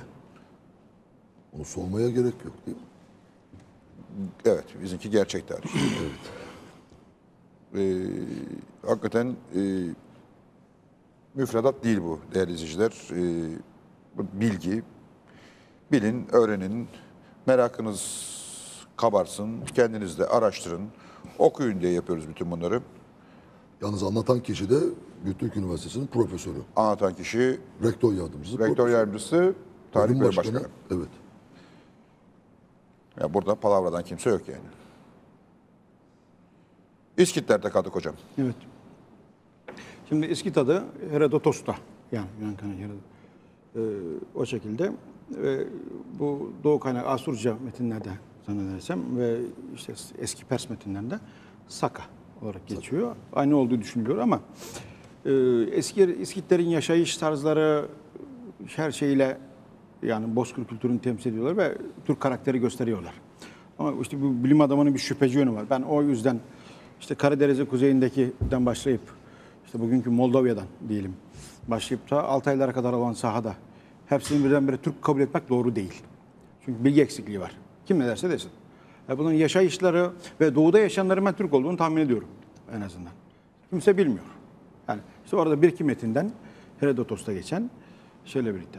Doğuda yaşayanların büyük kısmı Türk'tü ama Batı'da yaşayanları aynı şekilde söylemem yani bence yeterli Ama bütün. Avrupa'nın e, o taraftan gelen, yani Avrupa'da bir, bir- şey olmadığı, bütün kavimlerin Avrupa'ya e, kiminin Orta Asya bozkırlarından, kiminin e, Rusya'nın steplerinden geldiği söyleniyor. Doğru mudur bu? Yani bu tam doğru değil. Es- Esas olarak baktığımızda Karadeniz'in kuzeyinden hani iki ayrımı Hint Avrupa e, söylemiştik. Değişik değişik teoriler var bu konuda. Şimdi bilgi azaldıkça yorumlar fazlalaşıyor ve değişik şeyler oluyor. Yaşayışlarına göre, ürettikleri sanata göre ya da eserlerine göre değerlendirme Yani zaman yapıyoruz. makinesi bulunmadan bunları çözemeyeceğiz. çözemeyiz. Bir zaman makinesini bulacaklar, Ama o gideceğiz geriye şekilde bakacağız. Bakmak lazım. Hoş da olur ha. Ne zamana gitmek istersin? Her zamana. Her Önce şey. Önce. Vallahi yakından başlayıp uzağa gitmek daha enteresan olabilir diye düşünüyorum. Önce mesela bir Atatürk'ü görmek isterim yani. Merak ediyorum çünkü. Ne oldu ne güldün? gülmedim canım. Sen de gidersin Vahdettin'e. Ah, Kitap, kitabı verirsin ona. ne yapar? Kitabı Şah Baba'yı verirsin. Sizi yazdım. İmzalayıp. imzalayıp. o da imzalayıp sana verir bir tane. Peki hocam İskitler Hazarları şey yapalım. Hep sorun. şimdi ona geliyorum tam. Hazarlar Evet. ve Avarlar. Önce Hazarlardan Önce Avarlardan. Hazar'dan başlayalım. Bence Avarlardan başlayalım çünkü daha önce. Peki Avarlardan başlayalım. Şimdi Avarlar şöyle. Bizans kaynaklarına göre 558 yılında e, Karadeniz'in kuzeyinde, Kafkasların kuzeyinde beliriyorlar ve Kandik isimli zannedersem bir elçiyi İstanbul'a yani Konstantinopol'a göndererek tarih sahnesinde zuhur ediyorlar, görünüyorlar. Bundan sonra 805 yılına kadar Avrupa'da varlıklarını sürdürüyorlar. Nece konuşuyorlar? Şimdi Avarların bütün ünvanları Türkçe. Türkçe. Türkçe. İşte bazıları Moğollar da Moğolca da görülüyor bazı ünvanlar ama o yüzden Moğol diyenler de var. Ama %90 ünvanı ünvanları Türkçe. Avar Türkleri diye geçmez mi zaten? İşte Avarlar. Şimdi bunu yalnız e, en doğudaki Juan Juanlarla yani aslında Ruan Ruan diye okunur ama Juan Juanlarla karıştırıyorlar. Bu ta- üniversite imtihanında sınavında soru olarak dahi soruldu bu geçmiş yıllarda. Bu büyük bir yanlış var. Yani doğudaki Ruan Ruanlar ile batıdaki Avarlar farklı. Batıdaki Avarlar Varhun diye Hunların bir kolu. Bir kol Akunları kuruyor. Yani İran'a, Afganistan'a göre Akun devletini kuruyor. Diğeri Karadeniz'in kuzeyine gelerek işte Avrupa'daki o bilinen macerasını yaşıyor. Avar İmparatorluğu. Yine bünyelerinde çok fazla millet var. Şey gibi. Hunlardan sonra iki, ikinci büyük devlettir.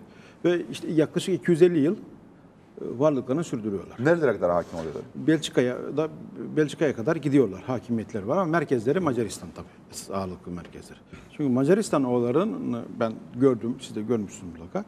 Ee, Türklerin, mümbit. Türklerin yaşayışına bir uygun- Uygun. uygunluğu var. At yetiştirmeye müsait. Yem var. Hala orada vahşi atların olduğu yerler var. Ben görmüştüm de. Yani o yüzden Macaristan ovaları merkez. Şöyle eğer Volga yani İdil Irmağı'nı geçtikten sonra başka hiçbir doğal engel yok. Sadece Macaristan ovalarına kadar geliyorlar. Türklerin öyle bir özelliği var. Şimdi Bozkır'dan geldikleri için daha savaşçı, daha mücadeleci. Genelde işte yara yara diyelim bütün kavimleri süpüre süpüre gelip Macaristan'a yerleşiyorlar. Avarların İstanbul kuşatmaları söz konusu 618-20'lerde. Ondan sonra zayıflıyorlar fakat 250 yıl varlıklarını e, devam sürdürüyorlar. Böyle bir devlet. Peki doğru mudur Türklerin en önemli özelliğinin at olduğu?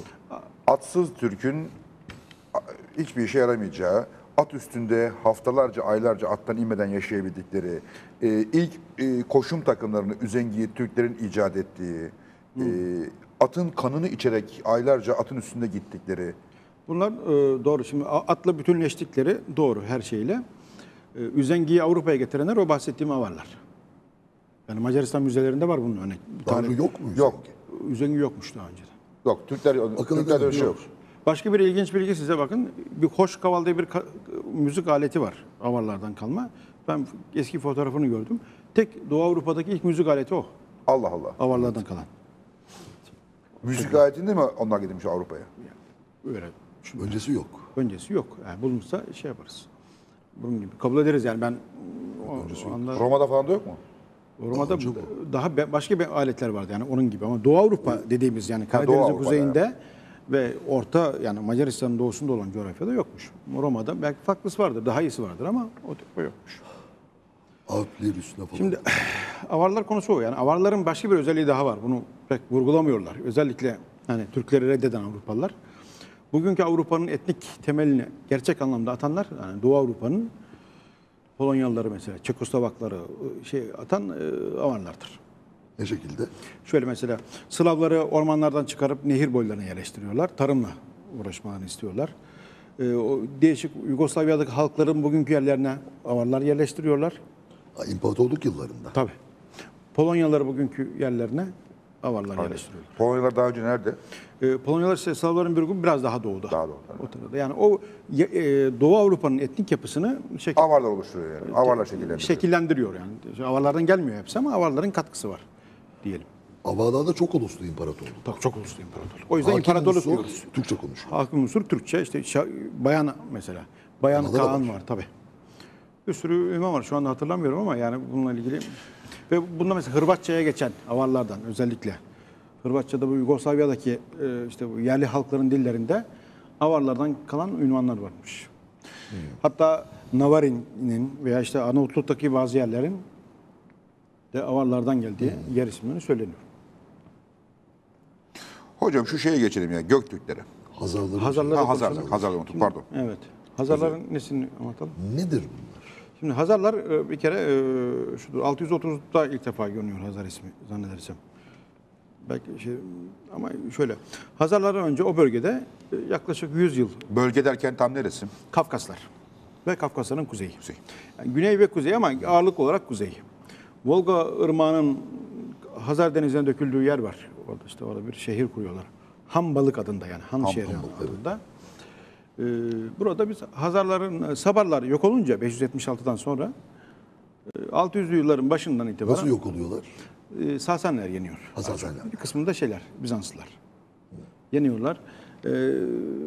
Şeyde yenildikten sonra Hazarlar e, o bölgede e, birdenbire ortaya çıkıyor. Mesela bazı Semender, Berencer gibi bazı kabile isimlerimiz Sabarlardan sonra Hazarlarda da görüyoruz. Yani aynı bölgede değişen, yaşayan halkın isim değiştirdiği konusu akla geliyor. Ve 600'lü yıllardan bin yılına kadar yani yaklaşık 965'te o Sviatoslav'ın seferi var, seferi var Ruslardan. Onun sonuna kadar olan yani yaklaşık 3-400 yıllık bir Hazar hakimiyeti söz konusu. Ama tabii en çarpıcı özelliği Ha- Hazarların Yahudi olması. Nasıl oluyorlar? Ee, şu an için kabul edilen görüş şu. e, Bizans'ta yani İstanbul'da zulüm gören Yahudiler şeye Hazar ülkesine kaçıyorlar. Orada Han e, hükümdarı etkileyerek hanedan ailesinin Yahudi olmasını sağlıyor. Şu an e, kabul edilen kabul edilen görüşü o. Ama onun yanında Hristiyan olan Türkler de var orada. Müslüman olan Türkler de var. Hazar ülkesinin içerisinde yine o bahsettiğimiz gök tanrı dininde yani eski Türk dinini devam ettiren halk da var. Burada yalnız Hazarların belki dezavantajı ilk defa paralı asker kullanan e, bir Türk devleti diyelim özel. e, O yüzden belki de zayıflıyorlar. Yani zaman içerisinde zenginleştiklerinden savaşma özelliklerini kaybediyorlar ve şehir yani o lüks hayat şeyde Orta Asya tarafından özellikle Harezm'in kuzeyinden paralı asker getirerek onlardan Ama Gentleri Paha askerler benim bildiğim kadarıyla Türk zaten. Türk tabii. De yani şey, bu bir yerde belki devletin sonunu hazırlıyor diyebiliriz. Yani bu Köstlerin Artık 13. doğru kabile. mudur söyledik? Yani Ne o Murat? 13. kabile. doğru. Bugün onlardan mesela Hazarlardan Kırım'da Karayimler, Polonyalılar. Ne demek 13. kabile? 13. kabile, 12 kabile varmış. 13. kabile olarak Kayıp 13. kabile gibi. yani Yahudilerin normalde 12 kabilesi var. kabilesi var. 13. kabilede kay, kaybolan Kaybolan. Yahudi kabilesi olarak değerlendiriyorlar. Karaimler onlardan değil mi? Kara. Onlardan. Karaylar şeyler. İşte Bizim e, Karaköy. Karayköy onlardan Karayköy. geliyor değil mi? Şeyde Polonya'dan gelen Evet, o taraftan gelenler. Karayköy. Estonya'da ile o taraflarda var. Evet. Baltık ülkelerinde çoğunlukla. UNESCO'nun bir e, reklamında, dilleri koruma reklamında Estonya'daki şeyler çıktı. Karaylar çıktı. Bizim gibi Türkçe konuşuyor. Türkçe konuşuyor. Gayet rahat anlaşılıyor. Tabii. Çok rahat anlaşılmıyor. ya. Kıpçakça şeye benziyor biraz şeyden.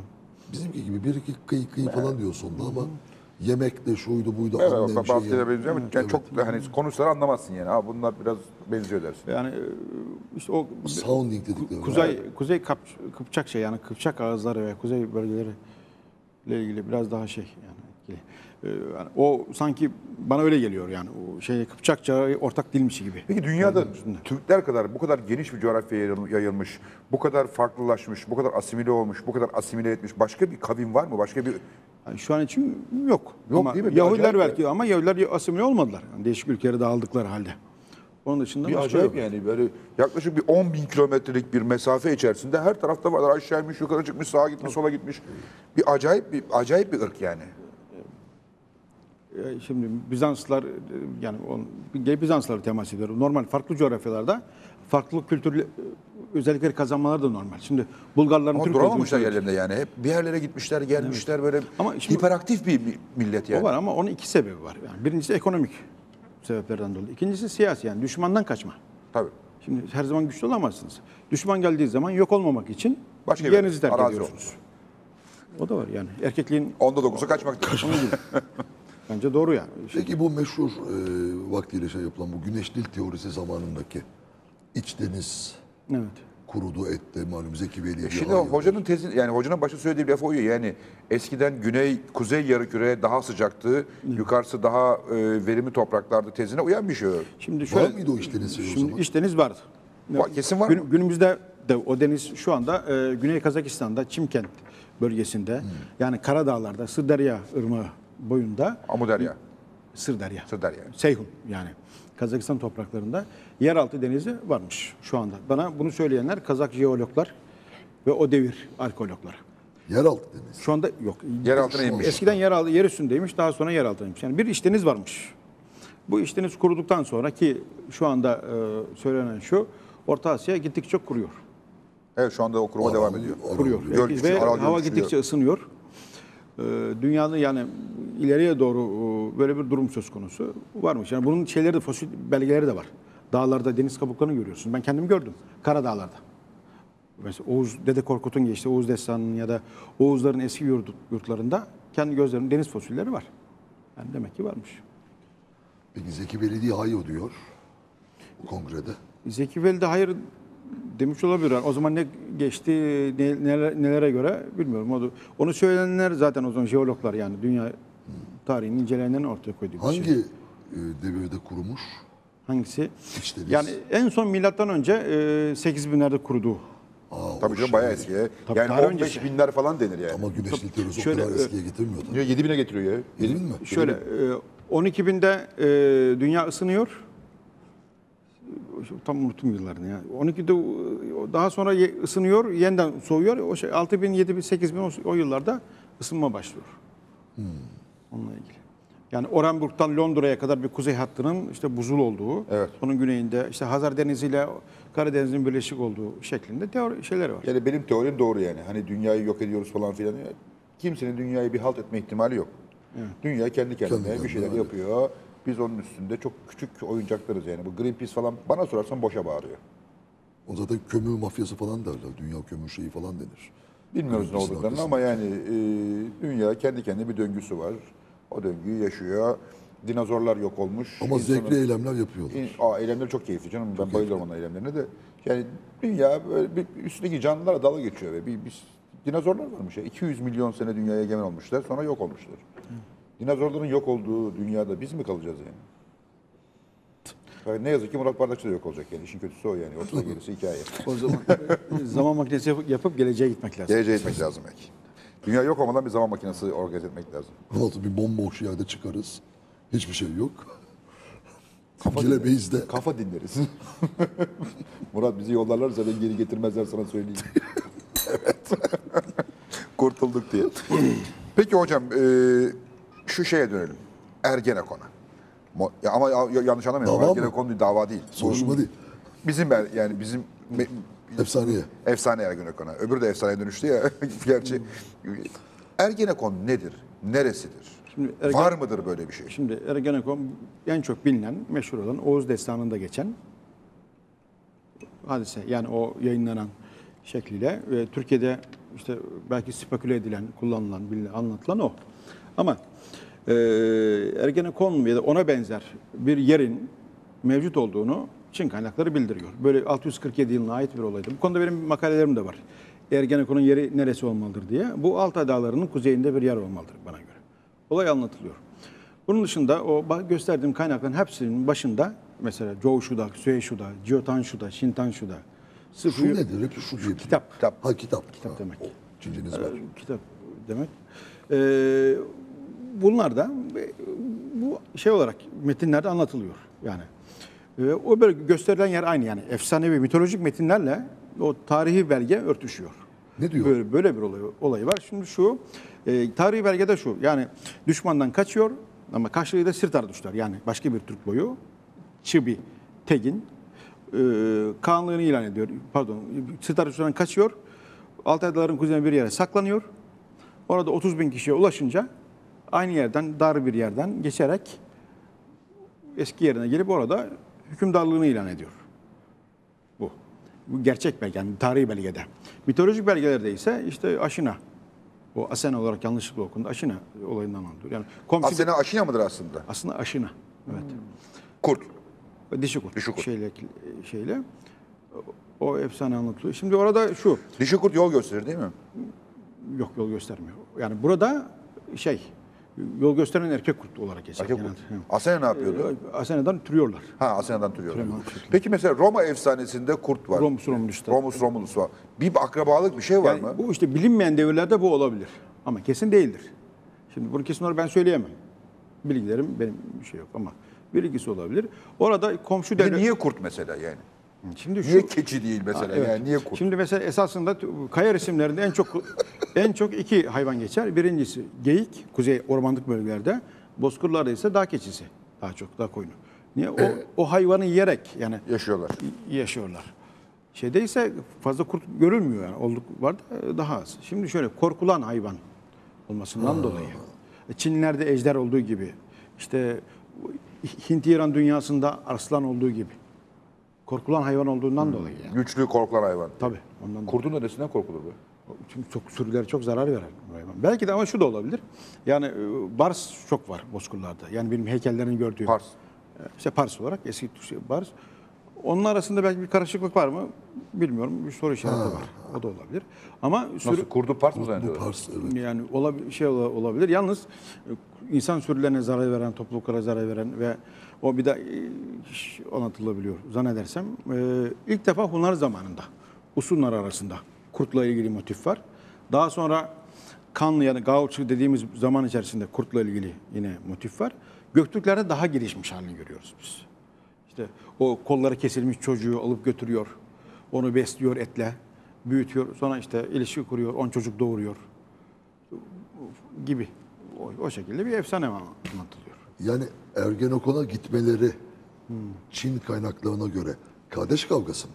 Başka bir Türk boyundan kaçarak Başka bir Türk boyundan. Yani orada anlatılan o tabii başka. Efsane ama, ama şeyde ilk, ilk şeyde ilk metinde Coğuşu'daki metinde komşu devlet tarafından. Lingo yani komşu devlet tarafından diyor. Orada kimin belli değil. Benim bahsettiğim o yani resmi belgede diyelim kesin belgede ise Sırt Arduşlardan korktuğu için gidiyor. Şimdi böyle bir gelenek olmuş olabilir Türkler arasında. Çünkü daha öncesinde farklı farklı şeyler var bu. Şimdi Altay Dağları'nı gezerseniz sizin de soyadınızda olduğu gibi e, Ergenekon'a benzer yüzlerce yer bulursunuz. Dağların vadelerin arasında yemyeşil yani cennet gibi, İsviçre gibi o, o derece güzel. Yani e, bizim gezme fırsatımız oldu e, açıkçası. Peki o güzelliği bırakıp niye gitmişler Bozkır'a? O işte o düşmandan kaçmak ve nüfusun fazla çoğalması. Yani orada çoğalınca başka bir yere gitmek şeyle gidiyorlar. Ama hala orada mesela Anadolu'daki gibi yer isimleri var. Benim Çin kaynaklarında bulduğum mesela Dolangı, Törengit boyu vardır. Kısaca, çok kısa bilgi var hakkında. Altay Dağları'nda 10 bin kişilik bir nüfus gördüm onlardan. Halk grubu. Çok Duruyor orada. Duruyor. Yani hiç bozulmadan Hala orada Türk, o Türk kavmi duruyor. duruyor. Evet. Ulangay bölgesinde. Türkçe mi konuşuyorlar? Tabii Altayca yani değil mi? Türkçe konuşuyor. Anla- anlar mıyız biz gitsek? Evet, tabii biraz farklılaşma olmuş ama çok zor Benziyor değil diyelim. Ya, idare ederiz maçı yani. Tabii. Konuşabiliriz. Ekmek su verirler bize yani. Çünkü vücudun organları ve fiiller aynı. Aynı. Aşağı Kalp kalp. Ya Kalp Yürek, zaten. yürek. He, yürek yürek şekliyle anlaşırsınız. Sayılar? ciger, ciger. Sayılar aynı. Sayılar aynı. göstermeye başladı. İşte göz ya da işte burun, ağız o tip şeyler e. Yani çok- ya da çok az değişiklikler var diyelim. O anlamda. Peki ben bir yine bir ara vereyim de sonra devam edelim. Ee, arada niye veriyorum? Ee, şu reklamlar bir an önce bitireyim şeyi soracağım sonra. Göktürk. Göktürk'ü de soracağım da e, Göktürk'e devam edeceğiz de Truvalılar Türk mü değil mi? Yani Türkler Anadolu'ya daha önce birkaç bin sene önce gelip sonra tekrar geri gittiler mi? Herkesin çok merak ettiği bir konu bu. Ee, Fatih'in o meşhur lafı Truvanın intikamını aldık falan lafı doğru mu değil mi? Ee, reklamların ardından onları konuşacağız değerli izleyiciler.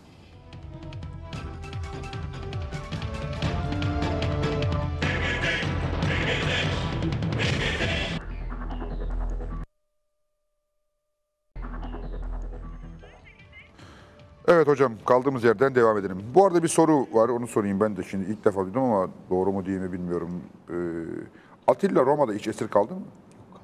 Değil mi? Yok öyle bir şey. Yok yok. Birisi demişti Atilla Roma'da esir kalmıştı falan filan diye. E İşte diyoruz ya herkes tarihçi.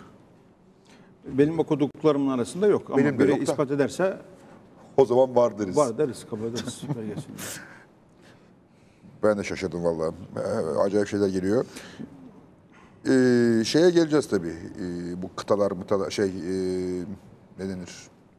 Truvalılar Türk mü diye geleceğiz de ondan önce yine merak ettiğimiz konulardan devam edelim. Bu Ergenekon ve Göktürkler. Göktürkler necidir, kimcidir, ne zaman çıkmışlardır sahneye? Şunu bir gösterelim mi? Evet.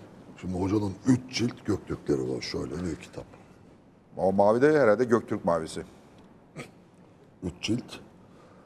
Ee, Çin kaynaklarından. ilk defa değil mi bu? Ve şimdi Ahmet Bey söylemez. Bu kitabı ve şu Çin kaynaklarına göre eski Türk boyları profesörlük tezi tarih kurumu yayını basılmasını önlemeye uğraştı çok kişi. Evet. Çünkü Çince uzmanı olup tek satır yazmayanlar var. Basılmasını önlemek için çok uğraşmışlardı. Neyse Yusuf Hoca bastırdı. Kulak asmadı. Yüz hocam bastı onu. Evet evet. Yani bu bilinsin. Türkiye'de Çince biliyorum diyen ama tek satır yazmayan profesörler bu kitapların önüne geçmek istemişlerdi. Evet, Göktürkler kimdir, nedir, necedir? Bir de Öncelikle affedersiniz şeyi söyleyelim. Kültekin anıtının Çincesini ilk defa Ahmet Bey yayınladı. O meşhur bildiğimiz anıtın yayınlanmamıştı. Şimdi öncelikle bu devletin esas adı söylediğim gibi kaynaklarda yazdığı gibi Türk. Türk devleti. Ne diyorlar kendileri? Türk diyor. Türk, Türk şekilde okuyor ve Türk. Yani iki heceli. Bir, bazı yerlerde iki heceli, e, bazı yerlerde Türk olarak yazıyorlar. Herhalde o, o anlamda o.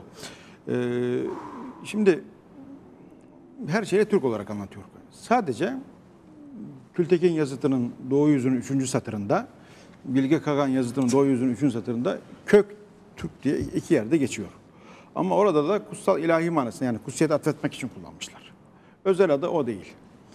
Şimdi bunu e, 1896 yılında e, Willy, Willy Bank, Alman Türkologlarından Willy Bank bir yazdığı makaleyle işte e, Tony Cook üzerine zannedersem yazdığı bir makalede Göktürk ya da Köktürk şeklinde kabul edilmesini teklif etmiş ve bilim alemi kabul, de kabul görmüş.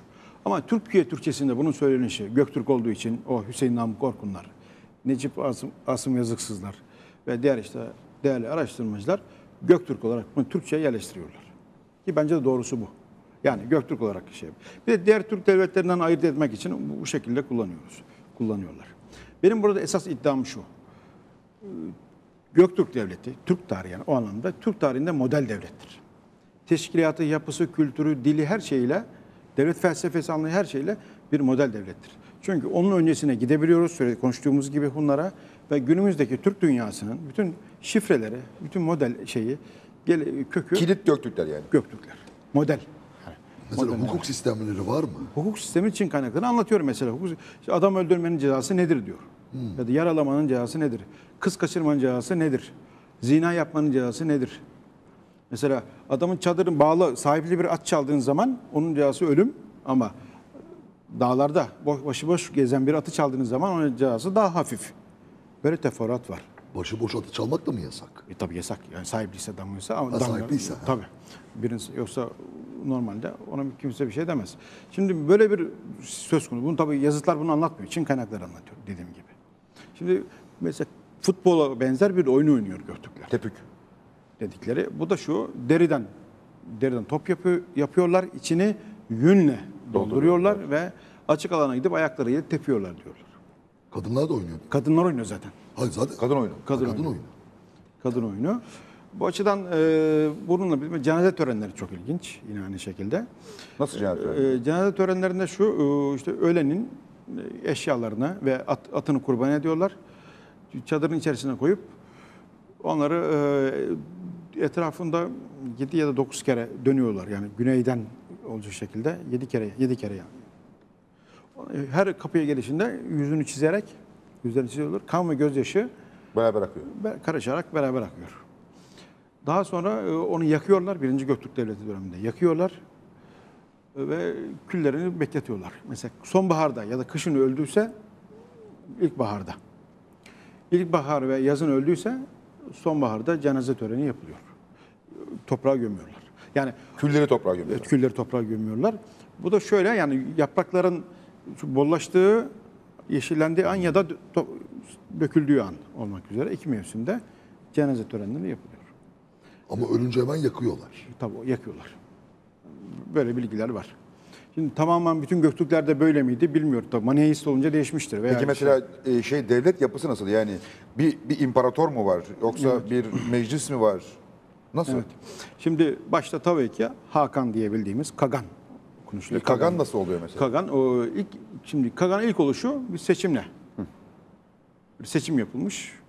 Çok da biraz hani şeyler e, ağaçların yanında açık alanda seçim yapıp en çok yükseğe kim zıpladıysa yani başarı gösterdiyse onu reis yapmışlar.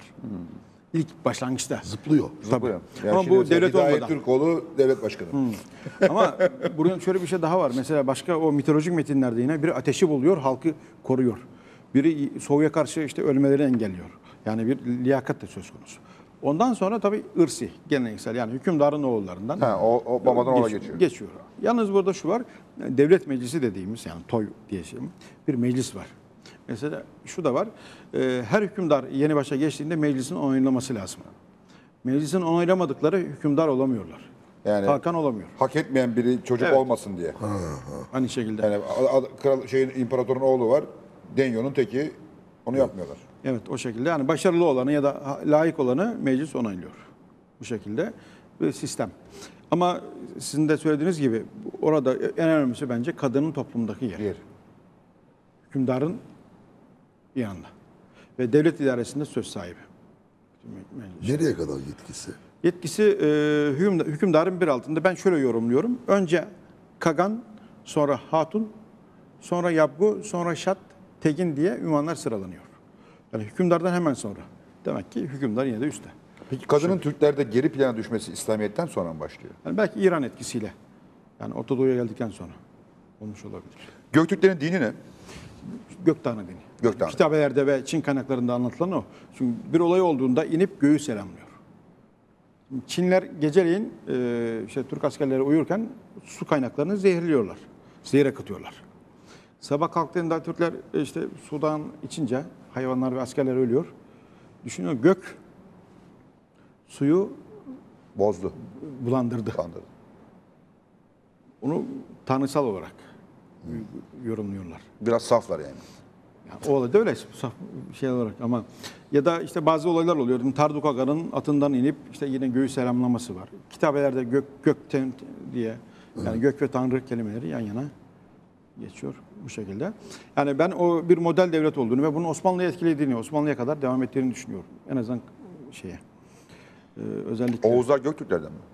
Oğuzlar yani Anadolu şeyleri e, tam anlamıyla Göktürkler ve Batı Göktürkler. Anadolu'ya gelen kavimler Göktürkler. Anadolu'ya gelen Türkler Gök- Göktürkler. Batı Göktürkleri tam anlamıyla. Bunu şey, e, çok açık bir şekilde is- ispat edebiliriz. Bir de şu soruyu sormak lazım. Yani ben hep e, şimdi mesela Türkler kendine işte farklı isimler verirken niye İslam kaynakları Türkmen dedi? Niye Ruslar Tork dedi? Niye Bizanslılar Türk dedi? Mesela Agatyas 582 yılında Orta Asya Türkiye diyor Bizans kaynaklarında. 582'den önce. Ee, daha sonra işte Memlük Devleti. Yani niye yabancılar bu isimle adlandırdı? Bence sorulması gereken ve cevaplanması gereken soru o. İşte Niye? Oğuzlar o kendi kınık, işte boy adlarını verirken çünkü bunların hepsi Göktürklerden geliyordu. Yani Türklerden geliyordu. Yani Oğuz boyları Batı Göktürk. Batı, Batı Göktürklerden. Doğu Göktürkler kimler? Doğu Göktürklerin bir kısmı Karahanlar içerisinde eridi. Bir kısmı e, Sibirya'da kaldı, bir kısmı Çin'e gitti.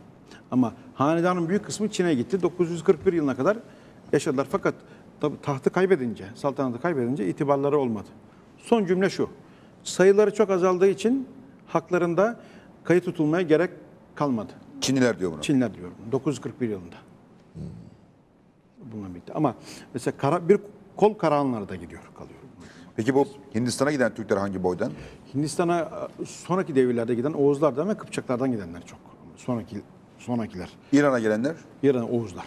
Yani Selçukiler Oğuz. Oğuz Batı Göktürk. Bat, Batı Göktürkler tabii. Peki eee, Arabistan'a gidenler?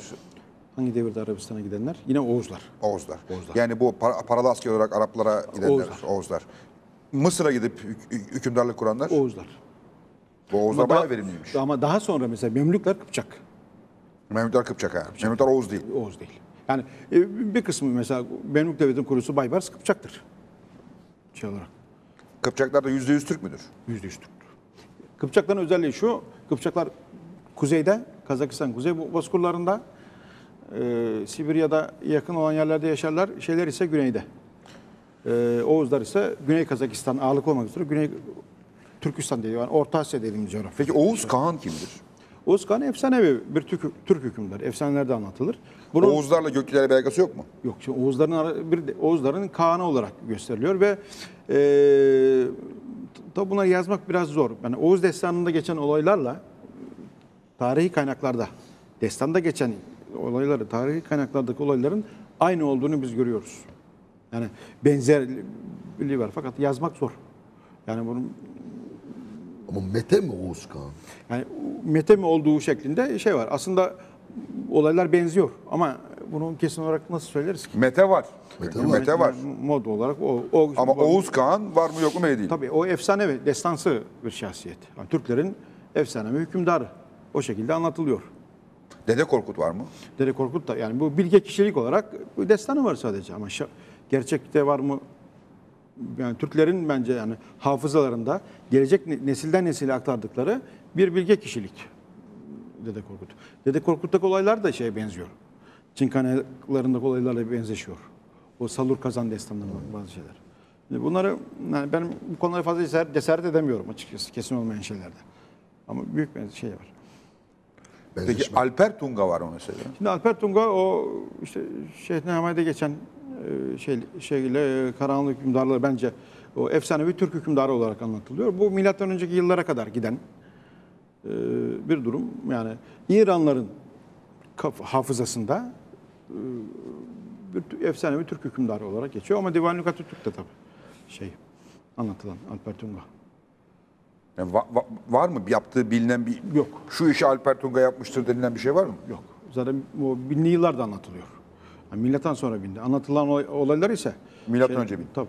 Yani diğer ne İslam kaynaklarında, Arap Fars kaynaklarında, ne işte Çin kaynaklarında geçmiyor. Sadece Divan-ı Lügat-ı Türk'te hatırladığım kadarıyla. Peki o Şehname'deki İran hükümdarı Alper Tunga olabilir mi sonra? İran hükümdarı değil de Turan hükümdarı. Turan hükümdarı. hükümdarı. Turan hükümdarı olabilir. İran hükümdarı olamaz. Turan hükümdarı yani evet. Tabii. Yani şimdi belki burada yani geçmişe gittikçe yani mito- mitolojik metinlere göre Türklerle İranlar arasında bir mücadele söz konusu. Nerede? Mavera Nehir'de. Bu mücadeleye göre Hangi devir? e, işte milattan önce 700'lere gibi falan işte. Şeyler. Efsane. Ma- Maalesef işte kaynakların yetersizliği yüzünden yani ben cesaret edemiyorum yazabilenlere bilmiyorum. Peki Kızılderililerin Türk olduğu tezi doğru mudur? Çok büyük benzerlik olduğu, Orta Asya'dan göçtüğü. Hatta Komançilerin aslında Kumançi olduğu. Yok değil. Şimdi e, bugün Sibirya'daki müzeleri gez, gezerseniz kanoların, kayıkların, çadırların Kızılderililerle aynı olduğunu, çok benzerlik var arada. İşte dilciler, bazı araştırıcılar kelime benzerliklerin olduğunu da söylüyorlar. Kızılderililer mutlaka kesin olarak Orta Asyalıdır. Ama her Orta Asyalı da Türk değildir. Yani böyle bir Ha, Orta Asya'dan gitmişler. kesin. Kesin, o kesin. kesin. Bering Boğazı. Evet. Ha, bana şu an yani Orta Asya'da belki Türkler akraba bir kavimdir. Onu da söyleyebiliriz. Ama kesin olarak Türk demek için henüz erken. Ama Orta Asya oldukları kesin. Kesin tabii. Ama Tibetliler bazı kültürüne de benziyorlar. Ben onu da gördüm. Şimdi o e, Çok tip benziyor olarak Tibet'e, çok Tibetli benziyor. şeylere de çok benziyorlar. Şapkalı Tibetler falan var ya. Şimdi Çok bir mesela Tuyuhun diye bir kavim var. Pek anlatılmaz tarihlerde. Bunu Moğol zannederler. Moğol değil. Moğolların yaşadığı yerden çıkmıştır. Şeyin şey, e, Türklerin doğusunda. Tibet'e göç ederler ve Tibet'te çok büyük devlet Tangut devletini kurarlar. Büyük bir imparatorluk Tangut kurarlar. var. Çok kuvvetlidir. E, Sonraki asırlarda işte güçlerini kaybederler. Ama belki onlardan bir oldu. Benim işte ama belki diyoruz tabii. Şey değil. Oradan yani Orta Asyalı oldukları kesin ama Türk demek her önüne gelen Türk yapmak Peki bu kayıp kıta Mu'nun Türklerle bir alakası var mıdır? Bence yok. Şimdilik yok yani. Agartha? Onun Agartha onunla ilgisi olduğunu zannetmiyorum ben bu şeyler. Çok mu soruluyor onlar ama bilmiyorum ama yok yani. Yani bu aylar yıllardır hep soruluyor da. Yok yani. Atatürk, hocam- Atatürk bile ciddiye almış bunları yani. O devrin şartlarında e, tarih ilminin geliştiği şartlarda bunlar normaldi. Yani o kadar Peki şey. Sümerlerle Türkler arasında bir bağlantı var mı? Evet, e, Sümerce'de 300 kelimenin Türkçe olduğu Türkçe. olduğu söyleniyor. Osman Nedim Tuna rahmetli hocanın bir çalışması da var. Yani Sümerler Orta Asya kökenli olabilir. Yani o dediğimiz yöntem içerisinde. Ama Türk olmayabilir diyorsun. Ama değildir. Yani şimdi her Orta Asya'da Türk Sümerler yap- milattan önce 3000 midir? yani başlangıç olarak böyle kabul ediliyor hatırladığım kadarıyla. Milattan önce 3000. gibi. Yani ilk işte tarih Sümer'le başlar diyorlar ya ondan dolayı. Şimdi bakmak lazım. Yani bu tabletleri çok iyi okuyup değerlendirmek lazım. Ben bilmiyorum. Ama Türk, 300 Türkçe kelime var. Yani o civarda. O civarda. olduğunu söyleniyor. Hocam Etrüskler Etrüskler konusunda da şimdi Etrüskler, e, Frikler, Galatlar, Keltler şeye İngiltere'ye giden İrlanda'ya. Bunların arasında bir bağ var. E, bunlar bence biraz yani Bozkır kültürü, Türk kültürü karakteri gösterse de e, yeterli delil yok. Şey olarak. Olabilir. Ama ben, işte bir tarih profesörü olarak bunları söyleyemem. Benzerlikler var. Yeterli delil yok. Yani olmadıklarına dair de yeterli delil yok, olduklarına dair de yok. Biz de ilim adamıyız, araştıracağız. Araştıranlar olacak, ortaya koyacaklar. yani hala o meşkuk denilen şüpheli. Evet, bence öyle. Peki bu Truvalıların Türk olduğu? O da aynı şekilde e, Türk olduklarını zannetmiyorum. Niye? Yani, olsalar çok hoş olurdu ondan diyorum. Yani yok, belge, yani şimdi tarihte söylenen her sözün, bir tarihçinin akademik anlamda dayandığı bir belge olması lazım. Peki Fatih'in biz Truva'nın intikamını aldık dediği doğru mudur? Onu işte Kritovulos yazıyor tarihçisi. Ee, 1462'de Midilli seferi sırasında. Midilli'ye gittikten sonra söylediği ama başka bir kaynakta da yok. Yani Osmanlı kaynaklarında. O şu olmuş olabilir, yani Ama söyledi diyor Kritovulos. Şimdi o Yunan geleneğinden gelen, eski Yunan geleneğinden, Roma geleneğinden gelen, Bizans geleneğinden gelen kişilerin e, bu bir yorumlamasıdır diye düşünüyorum. Eğer tam da bildiğimi söyleyemem de. Olur yani. Ama Truva'nın dili de Türkiye bir dil değil yani. Şimdi o epey dil- mührü çözüldü biliyorsun onun Truva mührü. Bilmiyorum. Resmi mührü çözdüler. Yani bunun bir bence şey dili diyorlar, bir başka bir ismi var. bunu dilin. bence eski çağ tarihçilerine sormak lazım. Yani bu konuda Türkiye'de geçti uzmanlara sormak lazım. Hocam en eski bu Göktürk en eski yazıtlar hangileri? Yazı olarak. Türkçe mi? Şey Türkçe olarak, yani. Yenise yazıtlar. Yenise. Yenise yazı- o mezar, mezar Kimin taşları. onlar? Türkçe. Kırgızların bölgesinde o yüzden Kırgızlara ait olduğu söyleniyor. Eski Kırgızların ama değil. Göktürk dönemi. Göktürkçe yani. Göktürkçe. Ha, Türkçe. Evet. Peki o Gültekin'le Biraz, mesa- e, zaman arada kadar? ara- ya şimdi mesafe olarak 500 kilometre Evet, civarında. Zaman olarak. Zaman olarak da e, belki e, 100 yıl yoktur yani 50-60 yıl. 100 yıl. Dil aynı yani. Dil aynı fakat bunları söylemem de pek doğru değil açıkçası. Aynı aynı devirden değilim yani 6. 7. 8. yüzyıldan kalma demek daha doğru. Şimdi mezar taşını tarih koymamış ki oraya. Bir olay anlatıyor. Çok kahramandı, şunları şunları yaptı diye anlatıyor ama tarih yok. E, tarih bilinci de yok ki nasıl tarih olsun? Orada tabii bir, yani bir anıt yapmak için, gelecek nesillere bir şey bırakmak için yapıyor onu tabii. Peki e, e, Orhun anıtlarında tarih var mı? Onun anıtlarının tarihi var. 12 hayvan şeyle 12 ilgili hayvan takvimi. Takvim var ama Çince tarafında daha da il- ilginç bir şey var bence. Dikildiği saati yazıyor Çinler. Allah Allah. Yıldığı saati yazıyor. Öğleden sonra yani öğleni saat 1 ile 3 arasında yazı bitmiş. Çinliler, bu Çinliler manyak yani. Peki neye yazıyorlar bunları? Nelerin üzerine yazıyorlar? Ya şimdi orada yazılan taşını oymak oymak Hayır, suretiyle. Çinlilerin Çinliler Çin neye kayıtları neye İlk, ya ilk önce e, şeyde şurada ben böyle bir çalışma yapmıştım oradan size tam okuyarak size söyleyeyim de ilk önce yaptıkları bakın. Metal ve taş üzerlerine üzerlerindeki yazılar, kemik ve kaplumbağa kabukları üzerindeki yazılar, klasik kitaplar bunlar bambu kayıtlar, bambular üzerine ve ipek üzerine yapılan şeyler. Hanedan tarihleri, ansiklopedik eserler, kronolojik eserler. Bu şey e, altı gruba ayırıyoruz. Şimdi e, bu altı grubunda tabii içerisinde hanedan tarihleri esas şu, bu bahsettiklerimiz bizim. Metal üzerine başlamış demek. Taş İlk kağıdı Çinliler yapmamış mı zaten? tabii. Ama İlk dünyada ilk kağıt de, yapan- ipeği de bulanlar. Tabii. Çinliler ve ipek üzerinde yani ilk şey kutsiyet atfediyorlar. İlk ipeği bulan kadına. Ku- Kutsallık atfediyorlar. Yani onun yazılışında öyle bir çalışmam da var benim. Ee, şeyde bu şekilde yazmışlar. Yani hangi zaman içerisinde ama Han Hanedanı'nın döneminde yani milattan önce 200'lerde Ha, Han ipek ekonomik değer kazanmış anladığım kadarıyla. Çin Çin'de ve daha sonra batıya doğru yayılmış. Peki bu e, Orhun anıtları dikilirken bu adamlar görüyorlar mı bunu? Kimler? E, Çinliler. Tabii Çinler elçi gönderiyorlar o şeye. Ee, taş ustaları gönderdi, sanatçılar gönderdi. Yani tam Türkçesiyle eli kabiliyetli adamlar gönderdi. diyor. Zanaatkar. Evet. evet tam şeyle Yok eli kabiliyetli gönderiyorlar. Onlar da orada çalışıyorlar. Yardım ediyorlar. Şurada üçüncü kitapta onların şeyleri var, anlatıyorlar. Saatine kadar. Öğleden sonra dikilmiş. Bugün bizde o kayıtlar yok ha. Yani bugün kaydetmiyorlar. Adamlar Çinliler bunu Çin kayıt şeyi var. 1500 sene önce kaydediyorlar. Olacak bir şey. Peki niye dikmişler bu taşları? Türkler açısından mı Çinler açısından mı? Türkler. Türkler tabii şöyle. Yani yapma sebepleri nedir? Tek e, Bilge Kağan'ın tek hedefi var. Gelecek nesillerin bundan ibret alması. Bu bilinç var yani orada. Var tabii. Var. Bir devletin nasıl olması gerektiğini. Şimdi orada e, dünyanın yaratılışından başlıyor. Kişi olduğu. Daha sonra e, Türk devletinin kuruluşuna geliyor atalarına ve devletin niye yükseldiğini, niye yıkıldığını, sonradan nasıl kazanıldığını en çok iç savaşlardan yakınıyor. O isyanlarından. Ve bazı zaman geliyor milleti suçluyor. Zaman geliyor Çinlileri suçluyor. Zaman geliyor kendi ailesini yani hanedan devletin yöneticilerini suçluyor. Üç grupta topluyor. O yüzden çok önemli. Yani öz eleştiri de var. Ne kadar sürüyor Göktürk İmparatorluğu? Göktürk Devleti yani bağımsızlığını kazanması 552, yıkılışı 745. 200 sene. yıla yakın diyelim. Türkler genellikle 200 sene civarında dayanıyor. Osmanlı hariç. Şimdi Bozkır devletlerinin bir özelliği var.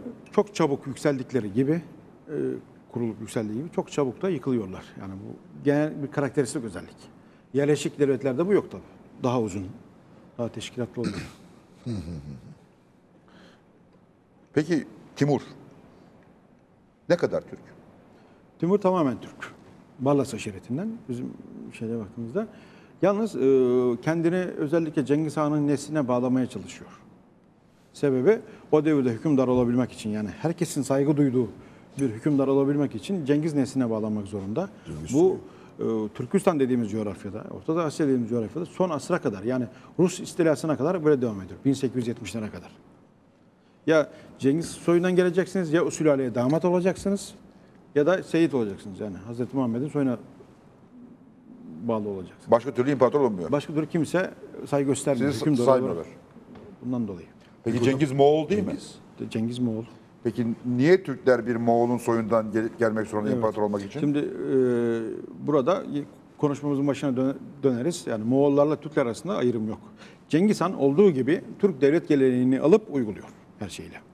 Ve Cengiz Han'ın ordusunun büyük bir kıs- ki- e, kesimi Türklerden oluşuyor. Kanlılardan, Kıpçaklardan, e, Kırgızlardan ve diğer Türk boylarından. Hatta Karluklardan da katılanlar var. Şimdi bu geliş- Kalduk oraya. Tabii nispeten Tanrı Dağları civarında yaşayan Karluklardan katılanlar da var. Bu var. Bir de e, mesela bazı diyelim ki Uygurlar kurtarıcı olarak görüyor şeyi. Cengiz Han. Cengiz'i. Şey, Timur'u. E, şöyle Cengiz'i. Cengiz'e. O şekilde. Ve bu Cengiz de zaten zaman içerisinde baktığımızda Türkleşiyor bütün Moğollar. Türklerin arasında. Hem Müslüman oluyorlar hem Türkleşiyorlar. Hala e, bu şeyde yani Türk dünyasında Cengiz Han Türk olarak kabul edilir. bir şey olarak. Yalnız burada ben bir şeye e, parantez açarak söylemek istiyorum. Cengiz'in mensup olduğu Borçeginli sülalesinin, bu Börüteginli sülalesinin Türk olma ihtimali var. Bu Kıyat ailesine mensup, mensup. Yani Çin'den, Kuzey Çin'den o, o bölgeye gidiyorlar. Yani o sülaleye işte Gansu bölgesinden gittiği kesinleşirse böyle Cengiz Türk olabilir. Ama şu an tabii ki Moğol'dur. Yani gerçekten e, kabul edildiği şekilde Moğol kültürüdür ama Moğollar da zaman içerisinde Türklerle bütünleşmiştir. Reşidettin Cami tarihinde ne diyor? Türkler bin boydur. Bu bin boyun biri Moğol'dur diyor.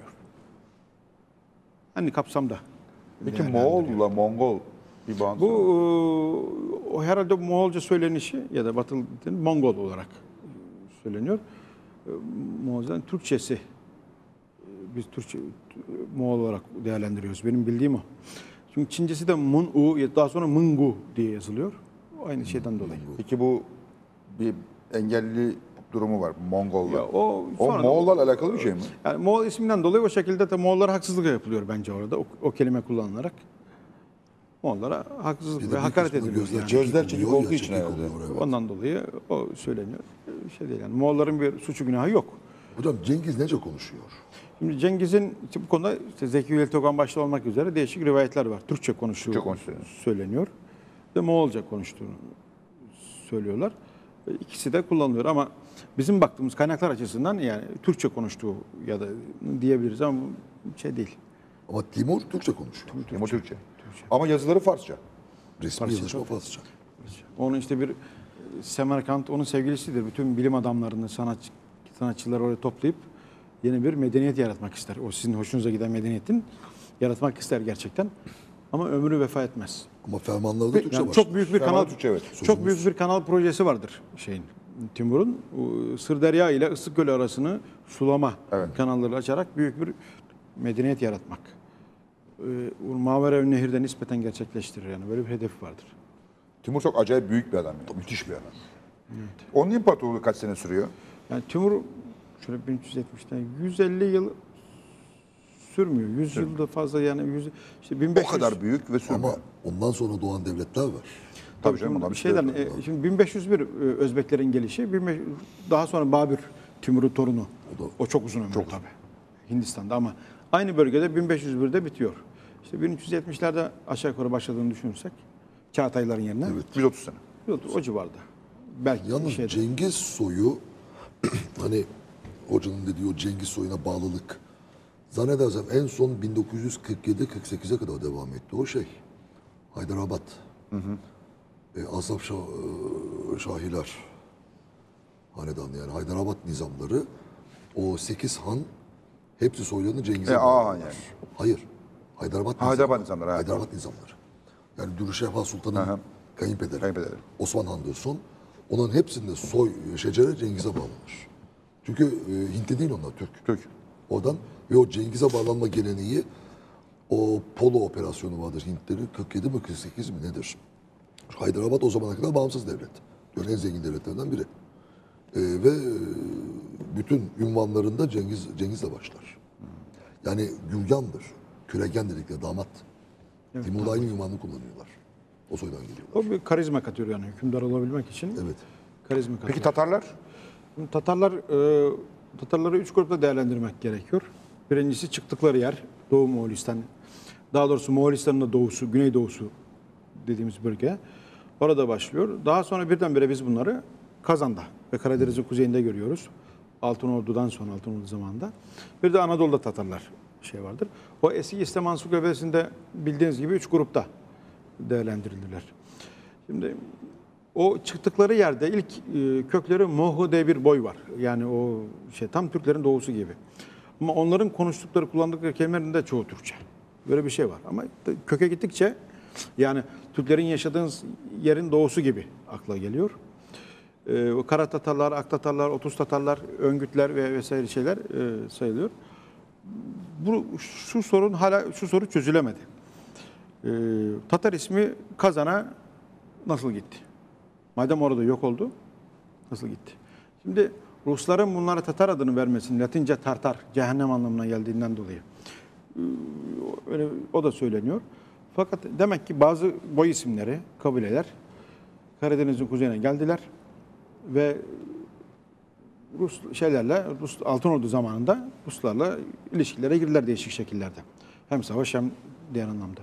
Yalnız bugün Karadeniz kuzeyindeki e, halkların yani Türk halk dünyası Türk saydığımız halkların kökeni Tatarlara dayanmaz tamamı. Ta- Kıpçaktır. En başta Kıpçaktır. Hatta Ogur'dur yani Bulgar'dır.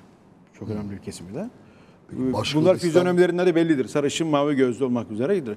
Başkurtlar binli yıllarda ortaya çıkar. Yani ben onu da, onları da Kıpçak, Kıpçak grubunda değerlendiriyorum. Tatar Biraz. dışında mı? Tatar dışında. Yani bu Rusların adlandırmaları esasında. Şimdi yani kökleri mesela Kazan'da Bulgar şehri var. Bilinen o İbn Fatna seyahatnamesinden sonra 922'de. Yani çok uzun yani hem Türk bunlar Müslüman olup bir İslam kültürü de gelişiyor o bölgede. O açıdan e, Tatarların yani Tatar daha sonradan yapıştırılan bir yafta gibi yani verilen isim gibi bence. Bütün halka verilen isim gibi düşünüyoruz. Peki hocam bu Sibirya'da yeni bulunan Uygur şehri. Buraya gittiniz. Geçen sene e, işte Sayın So- Somuncuoğlu ile birlikte e, sağ olsun Ruslar davet etti bizi bir saha çalışmasına. Orada e, Tuva'da Kungurtuk mevkiinde bir Porbajın, çamur ev. Tuvaca Porbajın olarak adlandırılıyor. Dere, hol- dere gölünün içerisinde, bir gölün içerisinde bir şehir kalıntısı. Daha doğrusu e, bir kale kalıntısı var. E, Krepos kale olarak da Hangi yıllardan? bu Hangi devir? tarihleme 750'li yıllara Milattan sonra. milattan sonra söyleniyor. Bana göre 808'den sonra benim kendi şeyime göre ama hani diyelim ki 750 ile 800'lü yıllara e, ait bir e, şey. O bölgede tek örnek yalnız. Yani başka o anlamda e, işte Uygurların diğer başkentine benziyor. Karabalı Soku'ndaki de benziyor. Bunun hakkında yapılan tartışma şu. Manastır mıydı, şehir miydi? E Ama hem manastır olarak kullanılmış yani bu Budist manastır hem de şey e, yerleşim yeri olarak da kullanılmış. Fakat daha sonra yakılarak o kalıntılara göre yok edilmiş e, bir şehir. Tabii savaş neticesi. neticesi. Herhalde savaş neticesinde e, bir baskın neticesinde. E, Daha sonra işte değişik yıllarda bunlardan haberdar ediliyor ediliyorlar da günümüzde kazı yapıldı orada. Bu sene kazı bitti zannedersem. E, Turizmi açmak istiyor Tuvalılar. Tuvalar kime bağlı şimdi? Tuva Özerk Cumhuriyeti Özerk Cumhuriyeti. Rusya'ya, Ruslar. Rusya, Rusya Federasyonu'nun bir devleti diyelim yani Özerk devleti. Onlara bağlı. Orada e, çok ilginç yani en azından işte o Fatih Bey'in dediği şehirleşme, medenileşme açısından ilginç bir örnek. Yerleşik bunlar. Yerleşik. O, o şehirde yaşayanlar yerleşikmiş. Yerleşik hayatın bir ürünü. Ama benim te- Bayağı mesafe var Uygurlarla orası arasında. ya o dönem orası Uygurların hakimiyetine giriyor. Dönemde var mı? Tabii Uygurların hakimiyeti. Hatta daha kuzeydeki Kırgızlar da giriyorlar. Uygurların hakimiyetine giriyorlar. Bir de o bölgedeki e, insanların tarım yaptığına dair de belgeleri var. Baharda kar eridiğinde yeri yırtıyorlarmış. E, Onun içerisine e, tohumları eke- ekerlerdi diye e, kayıtlar da var kaynaklarda. O Yenisey Nehri'nin tam doğduğu yerde. Ve o bölgede yüzlerce yazıt var. 400'den fazla yazıt var. Kurganlar var, heykeller var. Türkçe tabii. Bunun harfli. Yani bu Hüseyin Namık'ın yayınladıklarının dışında. Tabii dışında.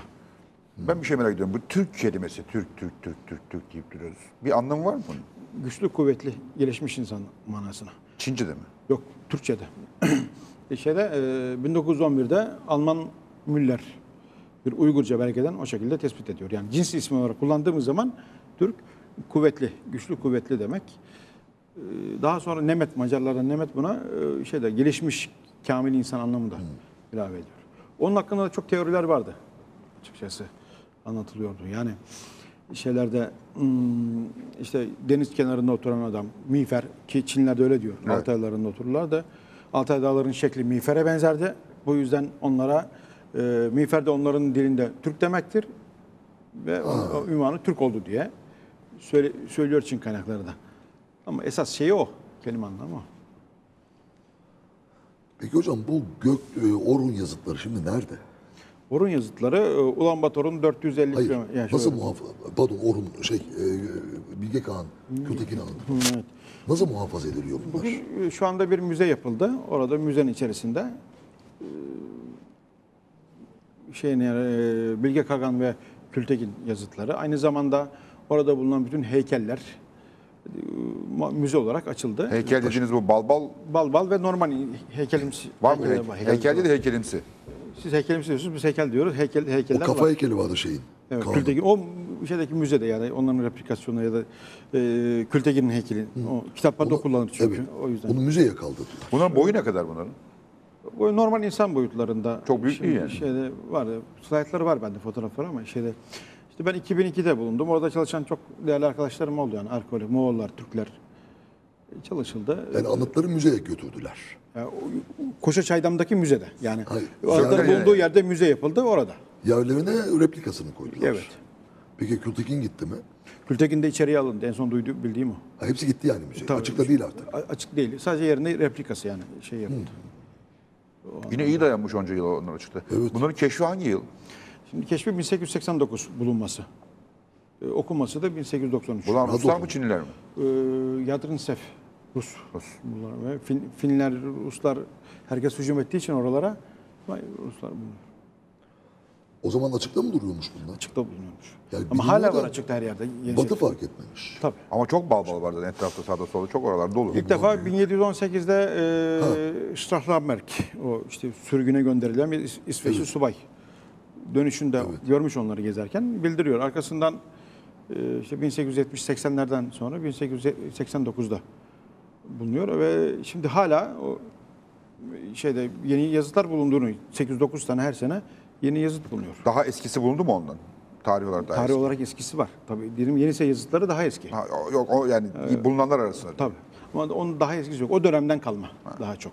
Yani demek ki Göktürk o devleti döneminde e, runik yani oyma yazı Evet.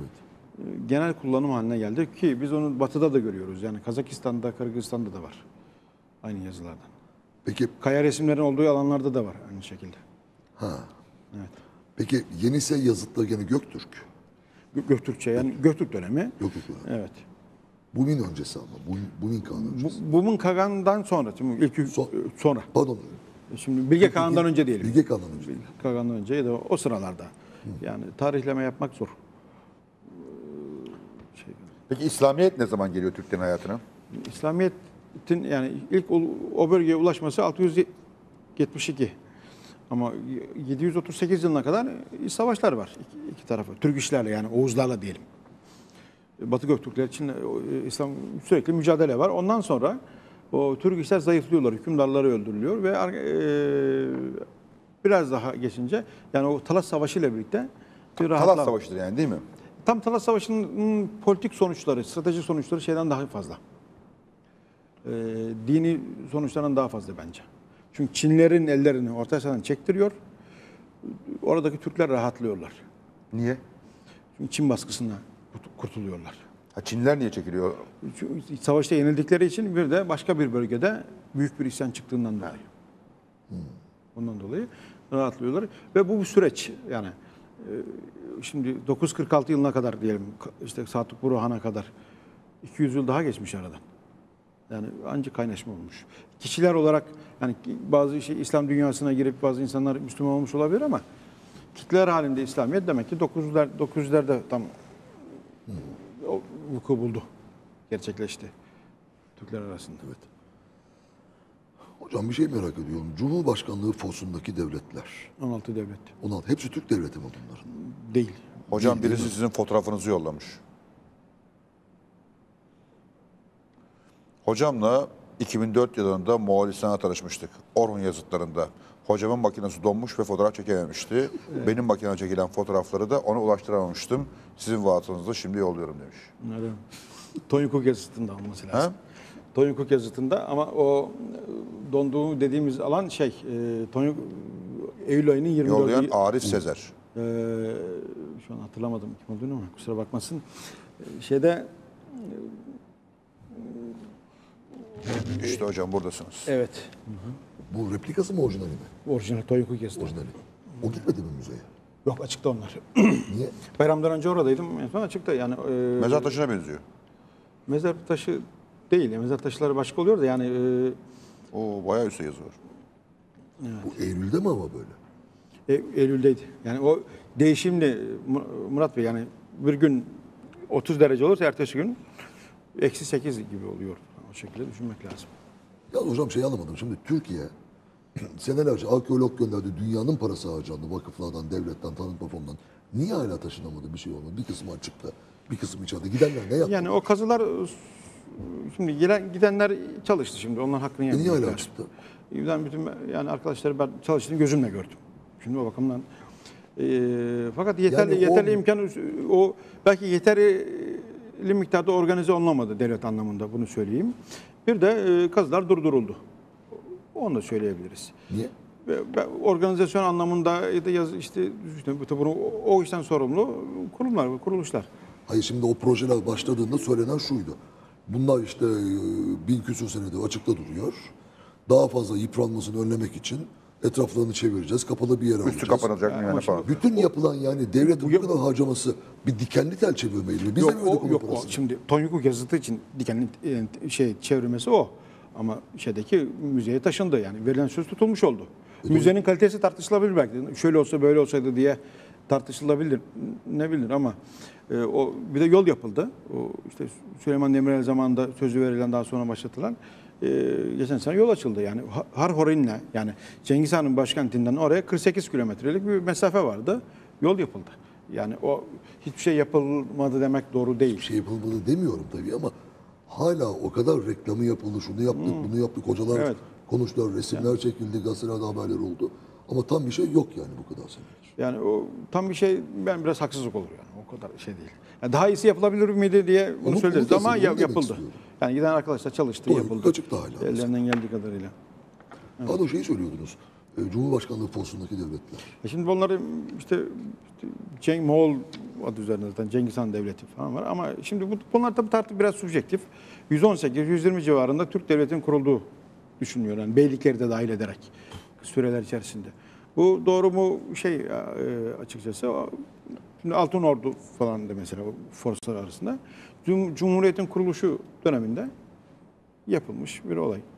Ee, yani belki 118 yıldız koymak şey değil ama bunların büyükleri oraya alınarak hani tam Türk olanlar alınarak Mesela Türk yapılabilir. olmayan hangisi? Benim adım Moğol Devleti, Altın Ordu'yla şimdi şey olarak Altın Ordu Türkiye'de değil mi? yani Cenk- hanedan olarak değil. yani halk Türk, idareciler Moğol. Daha sonra Türkleşiyor ama Ama Moğollar da ama şimdi şeyler. Mü? Yani işte bu konuda bir ben size söyleyeyim, yakın bir halk bu ne olduğunu söyledim. Şimdi bütün Moğolları Türk dersek olmaz. Bilimsel olarak doğru değil. Evet. O açıdan bakmak lazım. Başka oradan hatırladığım işte Babür ama mesela Babür şey o ne Türk sayılabilir Babür. Her şeyi Türkçe. Ama Cengiz Han zamanında şimdi o, idareciler Moğol. Bir idareci zümre var. O Mo- Türk kabul etmemek daha doğru. Hangi, Cengiz'i mi? Bab Cengiz. Cengiz'i. Cengiz. Cengiz. Evet. Tamam. Yani kendimizi aldat, aldatmamamız lazım bu açıdan baktığımızda. Evet. Lazlar diyor ki biz Türk müyüz? Lazlar e, yani hakiki Laz olanlar diyorlarsa bu Kafkasya, Dağıstan tarafına olduğunu ben biliyorum. Açıkçası. Ama şu da var. Kafkaslar'da 118 farklı etnik grup var. Etnik grupla. Yani en az bildiğim bazıları ölü dile. Bunların gelenek kültürlerine baktığımız zaman e, eski Türk kültürüne çok benziyor. benziyor. Görüyoruz. E, yaşayış olarak. Fakat zaman içerisinde dillerin o değişik şeyler, formasyonlara girmişlerdir. De modern anlamda baktığımız zaman adam kendini ne hissediyorsa bence olur yani. Olur. Yoksa yani genlerinin, ırkının, kökünün şeyi yok. Ne hissettiği odur. Şu proto Türkler. Proto Türkler. Bir reklam arası verelim sonra konuşalım Proto Türkleri.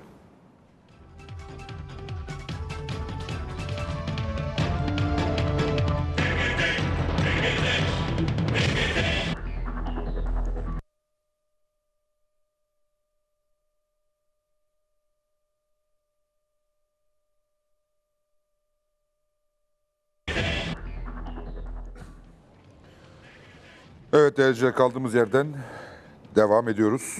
Nerede kalmıştık ben unuttum. Şeyi, e, proto Türkleri. Ha Proto Türkleri konuşacaktık. Proto Türkler diye bir şey var mı hakikaten hocam? Yani ön Türkler, önceki Türkler. Şimdi tarihi yazıyla başlatıyorsak, yazılı belgelerle, bunun öncesindekini ön Türkler demek doğru olabilir. Ee, o zaman yani bunu milattan önce işte 2500'lere, 3000'lere doğru değişik yerlere bakmak lazım. E, değişik yani bence yok tabii ki. Yani Türkler birdenbire 2250'de birden ortaya çıkmadı. Bunun bir evveliyatın olması lazım. Yani önceliği var. İşte bu dünya şeyine göre e, bana göre o anlatıldığı gibi e, yani kamuoyunda konuşulanlara ben tam olarak katıldığımı söyleyemeyeceğim ama o yüzden bahsettiğim gibi kaya resimlerine yani yazının bittiği yerde kaya resimleri çözülürse sizin dediğiniz gibi o- şekilde e, bir sonuca ulaşılabilir.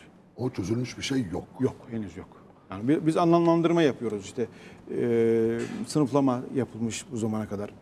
Ama ne diyor orada işte at resmi vardır diyor mesela. At resminin olduğunu zaten biz de görüyoruz e, esasında. Yani onların bir okunması, değerlendirilmesi lazım. Yani o proto-Türk teorisine göre işte şu kelime 8000 sene önce böyleydi diyemez. Diyemeyiz. Diyemeyiz. Diyemeyiz. Niye nasıl Yok, diyebiliriz? şey yok. Nasıl yani nasıl diyeriz ya? Diyemeyiz ki bilemeyiz. Söylüyorlar ama şimdi. Delil olmadan, yazılı belge olmadan şimdi. diye okumanı diyemeyiz. Kim yani, Şimdi Ona söylüyor değil sallıyor demek daha doğru olur. ben yani öğrencilerime de bütün derslerimde anlattığım gibi Doğru şudur. Sö- söylediğimiz her şeyin Bir kanıt olması lazım. kanıt olması lazım. Tarihçilikte budur ya. Bir şeye göre söylemem de. Yoksa Öbür türlüsü efsane anlatılışına masal girer. gibi olur. Yani başka bilmiyorum. Benim şey ben kendim yani çok hassas olduğum bir konu bu esasında. Şimdi abartıyor belki. Ama bir kanıt yok. Yani o anlamda yok. Fakat işte yani bütün mesele bence kaya resimlerinde yatıyor diyelim. Ona da çözülmedi diyorsunuz. Yani şifre olarak çözülmedi ama kitabı çıktı. Şeyde e, ulaştıralım. Var. Yani Ha, var mı sizde? Ha, ha, var. Ha, var. Sizde var mı? Var, Tamam. var. Devam edelim. Ondan sonra e, o onun her sayfa, her simgeye, her şekle bakarak e, bir açılım yapılabilir. Yani bu da bir kişinin işi değil. O kitabın yazarı olan arkadaşım yani Servet Bey herhalde şu anda dünyada en çok kaya resmini gören uzman. Yani her alandakini gördü. Epey Daha öncekileri birileri bir bölge, bölge, bölge. O inanılmaz ele bir alıyor. yazmış kitaptan benim. Hayır büyük kitap. Evet, evet. Bir kısmını beraber gezdik, bir kısmını kendisi gezdi. Mesela şeyde e, Saymalıtaş'ta, Tanrı Dağları'nda, Kırgızistan'daki e, 4000 metre yükseklikte 96 bin kaya resmi var bir alanda. Kaç? 96 bin. 96 bin. 96 bin kaya resmi var. Yani şimdi orada şu, Temmuz ayında kar yağıyor. İnsanların yaşaması mümkün değil. Biz Demek ki senenin belirli alanlarına gidip orada o yazıları yapıyorlardı. Yani. Ya da o zaman yağmıyordu belki. Ama zannetmiyorum onlara büyük değişiklik olacağını o şeyler. Şimdi bir, de bir şey daha var. Kaya resimleri tarihlendirilemiyor. Ne zaman yapıldığı belli değil mi yani? Ee, şimdi tam olarak şimdi şekil olarak bu tarih öncesine ait de e, çoğunluğu daha sonraki devirlerde de yapılmış E, olabilir. tarih öncesi derken Yani e, ben işte milattan önce şeyde Lenan e, Irmağı kenarındaki ya- e, kaya resimlerinin bu arada okudum Rusça şeyle. E, milattan önce 14 binlere 14 binlere. tarihliyorlar. Tarihlemişler. E, Levhasını o şekilde yazmışlar. İspanya'daki kaya resimleri kaçtır? Hangi yıldır? Bilmiyorum. Fransa'dakini 40 Bir bin mağarada var. Evet, tarihlendirilmiş. 50 bin falan diyorlar çünkü. Bir ona. mağara- 40-50 bin e, Afganistan'da da var onun şey olarak. Ruanda Ama bura, olmaması mümkün değil. E, yalnız burada bir şey var. Genelde taraflı dav- davranarak hepsini Hint Avrupalı yapmaya çalışıyorlar. E, o şey var. e, bakış açısı var. UNESCO'nun faaliyetleri var. Fran şeyde Semerkant'ta, Özbekistan merkezde. Bu da doğru değil. Çünkü dediğim gibi Türk, yani bilinen tarihte e, Türklerin yaşadığı yerlerde. Şimdi böyle bir örtüştürme yaparsak bunu söyleyebiliriz. Ama aksi de olabilir tabii bir şey diyemem. O Lena'dan başlayarak yani Lena'nın Baykal Gölü, Baykal Gölü, Gölü'nden başlayarak Hakkari işte Kütahya'ya kadar olan işte Ayzanoa'da şeye kadar çok geniş bir sahada binlerce ama bir yerde 96 bin Hepsi benzer mi bunların? kodları birbirine benziyor. Bakmak lazım. O kitapta kendiniz de görebilirsiniz. Yani benzeyip benzemediğini. Biz e, Hakkari'deki kaya resimlerini Kazak meslektaşıma gösterdik Servet Bey'le Almatı'da. Türk damgası dedi. Hakkarili olduğunu bilmiyor. Hakkari'den geldiğini. Bunların hepsi Türklere ait dedi. Türk Türk damgaları diye söyledi. Uzmana. Yani o Peki- gerçekten arkeolog çünkü. Peki Kürtler kimdir hocam? Şimdi Türklerle Yani Kürtler, Kürtler konusunu da şu yani işte İrani, Hint Avrupa grubundan bir halk. Niye bu kadar benziyor? Kürt Türk ya çok benziyor. Türk, Yani Türk, o Türk, Türk. benzemiş olabilir şey olarak. Ee, burada e, yani esas yerlerin Güneybatı İran olduğu. Kelime olarak çok benziyor çünkü. Yok- Yoksa şey değil. Yani. Bunun bir filolojik açıklaması vardır ben bilmiyorum. Yani o Minorski'nin çalışmaları var bu konuda daha çok. şeyle yazarken biri T ile biri D ile yazılır tabii. o var. Tabii. İki türlü Kürt. Kürt diye. Dalla, Kürt şeyde. Dalladı, dalladı. Çoğul olarak ekrat diye. falan. etrak. Etrak. Ona bakmak lazım. Yani işte o Yusuf Hoca'nın kitabı çıktı biliyorsunuz. Bunda biraz da bakmak lazım. Bir de ben bir doktora tezi yaptırdım. İranlı bir işte ama Azeri Türk- Türk'üne. Onda da mesela Kürt göçebe demektir diyor. Yani öyle bir açıklaması var. İşte birçok göçebe olan Türk boylara Kürt denmiştir diye bir sonuca vardı orada. E, Doktora tezinde en azından o dönemdeki Farsça belgelere dayanarak. Şimdi araştırmak lazım. Yani Kürtse de Kürttür yani. Onda ben bir şey, şey değildir. Peki yine ben şu tarihi şahsı Kubilay kimdir? Kubilay Cengiz'in torunu. Türk müdür? Cengiz'in torunu. Cengiz ne kadar Türkse o da o. o da o kadar Türktür. Peki Nuh'un oğulları arasında bir tanesinin Türk olduğu. Yafes'in o işte oğlundan Türk olduğu. O onlar efsane. Palavra yani. Var tabii. Şimdi şöyle o destanlar benim anladığım kadarıyla Türkler yani başlangıçtan itibaren gelmişler. Eğer Maniheizme yaklaşmışlarsa Uygurların Türeyiş destanı olduğu gibi Maniheizm motifleri var ışık dini, ışıkla ilgili. İslamiyet'e yaklaşınca İslamiyetle ilgili motifler. En son Ebru Gazi Bahadır Han'ın şeceri Terakkime'de, çıkanlar şey gibi. Onda öyle. Müslüman olunca İslami motifler girmiş. Ama destan yaşamış günümüze kadar. Biraz şekli değişmişler. Şey gibi ya bu ilmi haller vardır ya. Bizde cinlerden korunma, şerden korunma yazılıdır. Ee, Romanya taraflarında vampirlerden Vampirlerden. yazılıdır. Orada folklorda vampir var. Mesela Oğuz Destanı'nda geçen köpek başlı insanlar motifi bence çok ilginç. Evet. Bu Kuzey Avrupa destanlarında efsanelerinde Orada da de var. O var. Mesela Borussia Prussia isminin. Oğuz Destanı'nda da var. Eski Mısır'da da varmış. Evet. Çin Hindi'nde yani. Anubis. e, Tayland tarafındaki efsanelerde de varmış. Demek ki bunlar Köpek da başlı insan. Tabii. Şeye göre demek ki bazı Anubis. motifler, bazı unsurlar taşınıyor. Anubis. Ve onlara kısaca it oğlu it diyorum. E, o böyle, Anubis ama ne uğursuzdur. o. Çok uğursuz şey. o şey Ya nedir o hakikaten? Var mı şöyle bir şey? Gerçi bir de şeyler var. Onları kafasına takıp başlık yapıp saldıran halklar var. O şeyde e, 13. Savaşçı diye zannedersem bir film çevrilmişti. Onda da söz konusu edilmişti. E, Kuzey halkları. Kuzey halkları, ormanlarda yaşayanlar da genelde böyle Genelde o- korkutmak için böyle kıyafetler giyiyor. O da olabilir. Bir de soğuktan e, yaşadıkları için çok kürk giymiş de olabilir. Evet. Yani anlamında. Bir de Mısır'da kök yok ki. Adamların tanrısı var Tabii. Anubis. Evet. O sıcakta. Bir de berbat bir şeydir.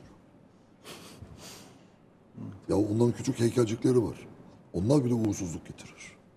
Niye yapıyor heykelci peki? Turistik veriyorlar. Turiste Satıyorlar. uğursuzluk gitsin diye. Uçağa düşüyor sonra herhalde. En son gelen hediyeyi ben denize attım. He? En son hediye gelmişti bana. Denize attım. Bir de ona böyle bir böcek gibi bir şey var şöyle. O çok uğurlu. Askara Bey. Hı hı. O Firavun'un uğur böceği o. O güzel o. Hatta onun güzel böyle kağıtlıkları Kağıtları falan var. vardır. Evet. Bende var 20 tane falan var benim. Onlar güzeldir. O iyi o, o kötü değil. Bir tane böyle Anubis- yeşimden var güzel çok hoş. Yeşim taşından Evet var. onlar çok. güzeldir. Anubis varsa at. Yok. Öyle korktuğum şeyi almam ben. Ödüm patlar. Bu beş şeyden mesela mas koleksiyonu falan yapıyorlar. Ay. Allah yarabbim. Gece kalkıyorsun karşında maslar var. Ve onların çoğu da orada cucu diye bir şey var Afrika'da. Cucu bizim büyü. Ee, o da profesyonel bir meslek bu. O cucu için yapılan şeylerdir çoğu. Ve yani büyüyle ilgili şeylerdir. Ve çoğu da kötüdür. O kadar Afrika'ya gittim hiç mas kalmadım. Ben de. Ben hocaya bir şey sormak istiyorum. Eski Türk tarihçiliği Türkiye'de niçin ideolojik algılanıyor?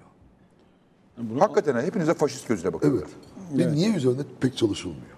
Siz oturmuş Çince öğrenmişsiniz, oralara gitmişsiniz. Çin, Ben bu tarihçiliğe olan sevgimden dolayı ve bunu akademik anlamda yapmak istememden dolayı bu işe soyundum.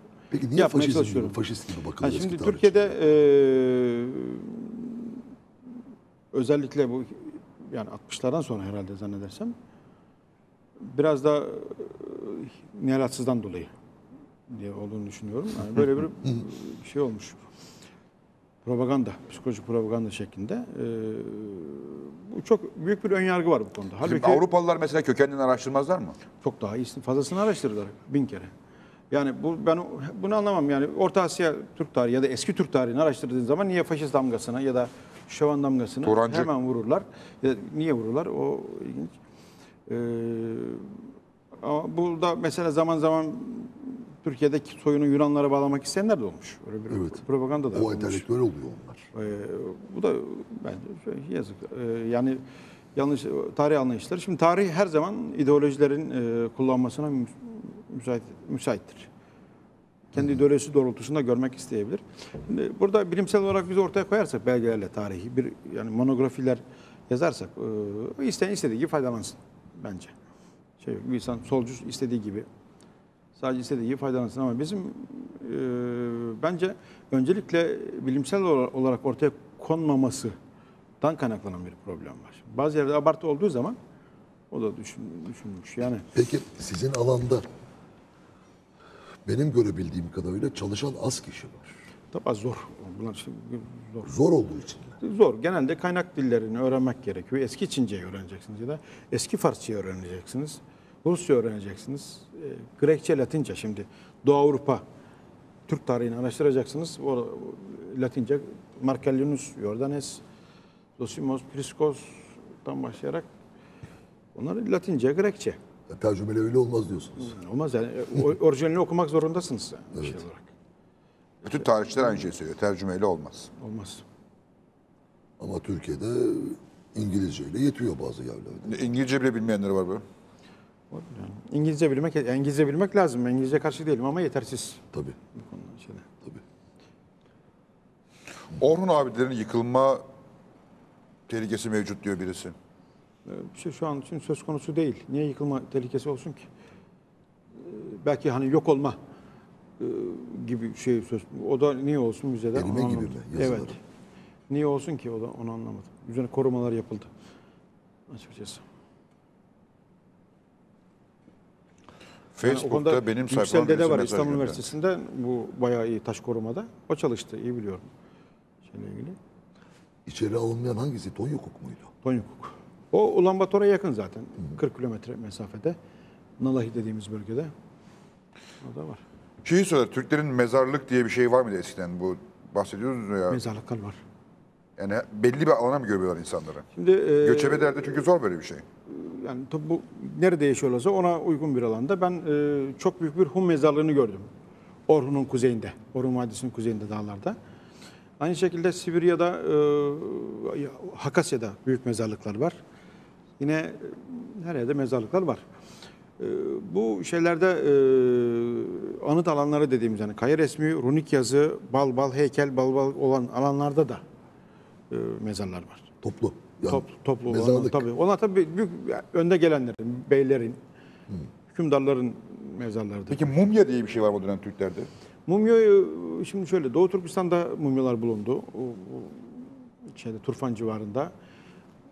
Şan Şan tam şeye Çerçen dediklerimiz Lobnor, Tuz, Doğu Türkistan güneyinde mumya bulundu. Altay dağlarında e, mumyaya benzer bulunduğu söyleniyor. Buna daha da eski tarihleniyor. Tam şeyim yok yani. E, sürekli bu değiştiği için fazla bilgim yok ama mumya var. Var. Bir de soğuk olan yerlerde herhalde korumak daha kolay zannedersem. Bir de kuru. Kuruda. Çölde. Çölde. Nemin olmadığı yerlerde. Şeyde e, Küçük Irmak Prensesi diye bir prenses bulundu. O tamamen şey Şiaohu Goncu tabii Küçük Irmak Prensesi. Orada onun Türklere ait olduğu yani mumyalı falan bayağı güzel. Peki bu altın elbiseli adam. O ne? O Kazakistan'ın başında Almatı'nın yakınlarında, Esik Kurganı'nda e, 1970'li yıllarda 70 bulunan e, bir kurganda çıkan şey. Onun işte şu anda ben imitasyonlarını gördüm yani replikalarını gördüm diyelim. O, milattan önce 3. 4. yüzyıllardan kalma olduğunu o İskitlere Türk o Türk orada yaşayanlar Türk zaten yani her dönemde. Türk olduğunu söylüyoruz. kim bu altın elbiseli adam belli mi kim? Ee, tam belli değil. Yani o orada bir mutlaka devlet adamıdır ya da devlet adamının oğlu bir prenstir. Biraz görgüsüzmüş sanki böyle. altın Yani o zenginliği gösteriyor aynı zamanda. Ee, zenginliği gösteriyor. O yani Altın takanlar gör. tek zengin o mu yani? Yok, biraz fazla takmış ama. Fazla takmış yani. Şimdi hükümdarlar her yerde. Mesela Tonyavgun'un Göktürklerde bir hükümdar var Batı Göktürklerinde. Altından tahtı var. Tahtı matana da altın elbise yaptı bir de onu görüldün mü biraz acayip oluyor. Yani o müfeder onu yapmışlar. Altını bulunca, fazla bulunca demek ki. Türk altını bol bulunca elbise yaparmış diye Elbise. atasözü uydurabiliriz yani.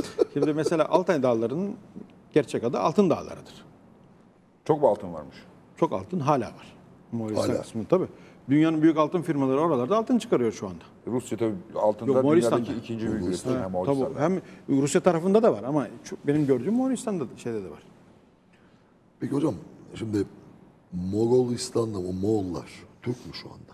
Şimdiki Moğollar Türk değil tabii Değil. de değil. Peki Cengiz yani Cengiz'in soyu tam belli olmadığı için mi Türk olabiliyor diyorsunuz? Bir yandan da Moğollarla Türkler akraba Cengiz'in tabii akraba olduğunu söylüyorum. Cengiz'in dayandığı kökün yani şey olarak Türk o kabilenin. Türk olma ihtimali, İhtimali var. var. Börüteginler sülalesi yani Türkçesi Börütegin yani Kurtteginler, Kurt prensler diyelim. Bunun Moğolcası Borçiginli diye açıklıyorlar. Börü evet. Borteçina falan var. İşte oradan geldiğini söylüyorlar. Ama bunun da başka bir şey daha söyleyeyim. Moğollar e, Türk Devlet Teşkilatı'nı aynen alıp kullandılar. Tam anlamıyla. Gelenekleri her şeyle. Ve kısa süre içerisinde Türkleştiler zaten. Yani batıya gelen Moğolları diyorsunuz. Batıya göre oradaki Moğollar da aynı şekilde. Sadece bugünkü Moğolistan'da kalanlar e, 300 yıl Mançurların idaresinde kaldıkları için farklılaşma biraz olmuş yani. Budist olmuşlar bir kere. Ha, o 1580'lerde. Kesin olarak bi- 1500'lerde Budist olmuşlar. Arkasından e, 300 yıl Mançu Hanedanı'nın idaresi altında kalmışlar ve Mançulaşma. Yani biraz o tip farklılaşma tabii ki olacak. Peki bugün mesela bu Türkiye Cumhuriyetler dediğimiz cumhuriyetler var. Bunların hepsi hakiki Türk mü? Çünkü bazıları kendini Türk kabul etmiyor ya da bizi Türk kabul etmiyor bazıları. Orada bir karışıklık var. Yani he- bu, bu, bu cumhuriyetlerin her birinin birbiriyle dost olduğunu söylemek de pek mümkün değil. Yani tabii bu bunlar siyaseten, uluslararası işler boyut Hepsi açısından Türk mü? değerlendiriliyor. Şimdi şöyle, e, Göktürk tarihi o yüzden çok önemli. Çünkü hepsinin, bütün Türklerin bağlı olduğu devlet. Hepsi oradan. Orada. Bizler, onlar hepsi. Kaynak o yani. Hiç, kaynak o. Bu bir. İkincisi, 91'den itibaren yani benim onların tarihçiliğine gördüğüm, Kazakistan'da, Kırgızistan'da, Özbekistan'da Türk tarihine karşı aşırı ilgi olduğu, olduğu için ve Göktürk tarihine. Şimdi Türk tarihi yani Türk oldukları bilinci yerleşiyor. Tabii ki bunlar ayrı devlet. Ve hepsi işte Kazak devleti, Kazak üst kimliğini uyguluyor. Kırgız devleti, Kırgızları ya da Özbek devleti, Öz Türkmen, Türkmenleri. Peki Azeri ne? Azeriler de Oğuzlardan. Oğuz. Oğuz. Tabii Oğuz'dan. O Niye yüzden Azeri adını aldılar peki? o bölgenin adı. Ha. Azerbaycan Ateş Ülkesi, Atropatana'dan. Ne demek Azerbaycan? Ee, Ateş ülkesi demek. Ateş ülkesi. Niye petrol var diye mi acaba? Belki doğal gaz vardı, yanan bir şey var. Yanan ya, bir şey var ondan- Ondan çünkü. dolayı. O petrol sızıp mızıp yanıyordu bir dolayı. Tabii. Bir kısa haberlere gideceğiz galiba. Arkadaşlar uyarıyorlar saat 1 haberleri. Ee, bir haberlerinden sonra biraz daha devam ederiz herhalde.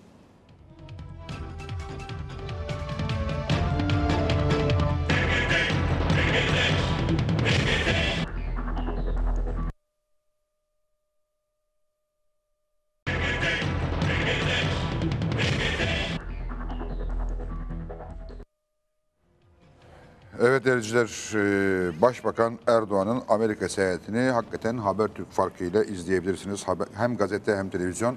E, Habertürk gazetesi, Amerika Birleşik Devletleri temsilcisi, Washington temsilcisi daha doğrusu e, Tülin Daloğlu e, ve Muharrem Sarıkaya, Ankara temsilcimiz Muharrem Sarıkaya olayı yakinen olay yerinde takip ediyorlar. En ayrıntılı haberler zannederim hem gazete hem televizyon Habertürk'te olacaktır. Reklamımızı da yaptık, devam edelim. Evet. Ama televizyon dediğin kendi reklamını yapar yani değil mi? Kitaplarımızın reklamını yapıyoruz da. Evet, nerede kaldık Muratçım? Ee, Türkiye Cumhuriyetler, Ha, Türk Türkiye Cumhuriyetler Cumhuriyetleri anlayışı diye konuştuk. Evet.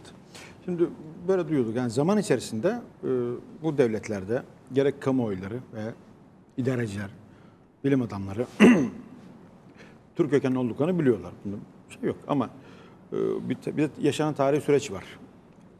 Evet o Sovyet. İşte Sovyet onun öncesi.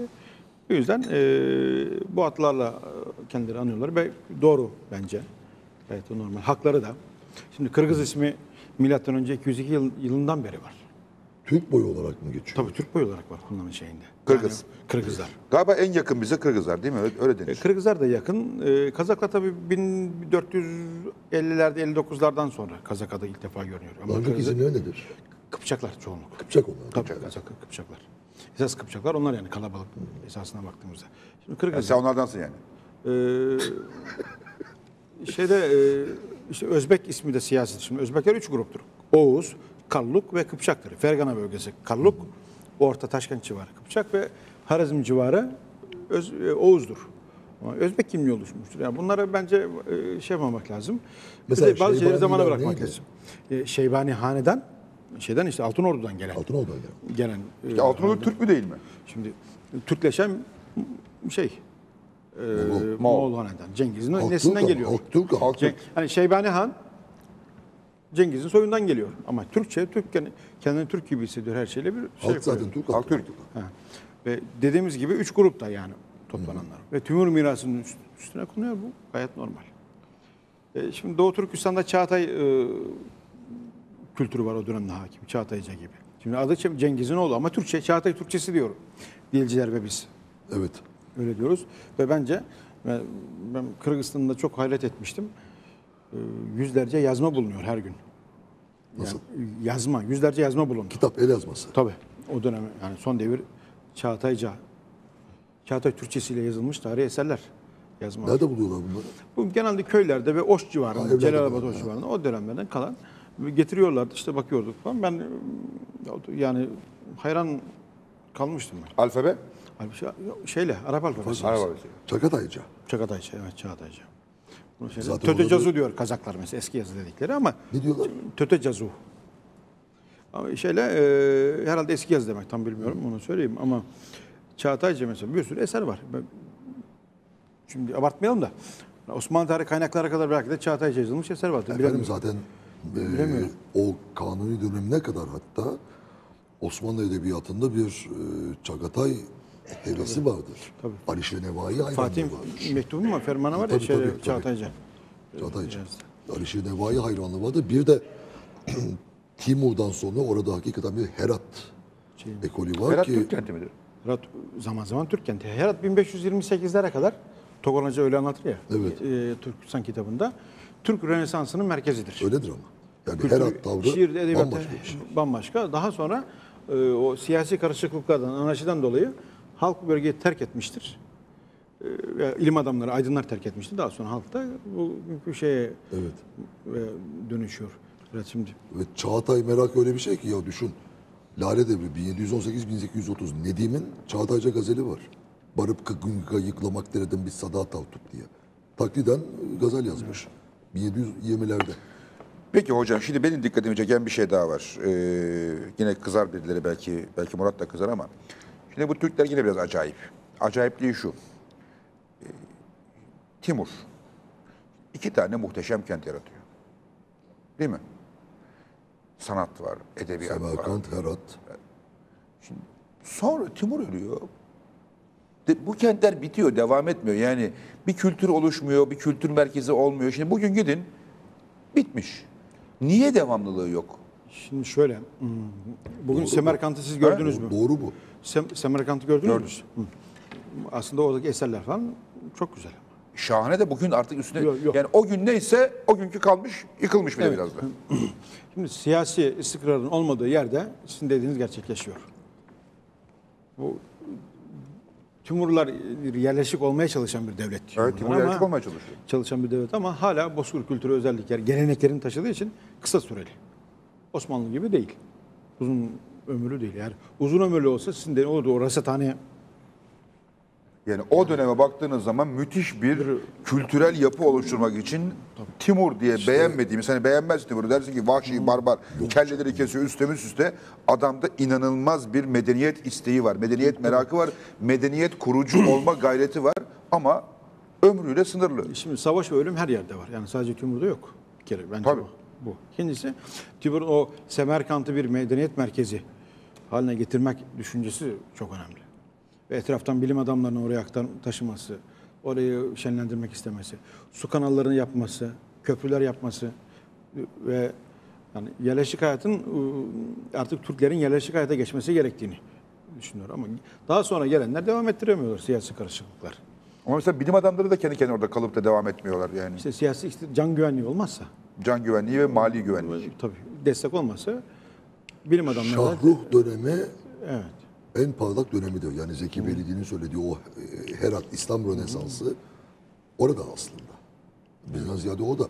Ve gerek Osmanlı sanatı olsun, gerek edebiyatı olsun çok etkilenmiş, çok da taklit etmiştir. Ama işte hocam dediği gibi devlet bitiyor.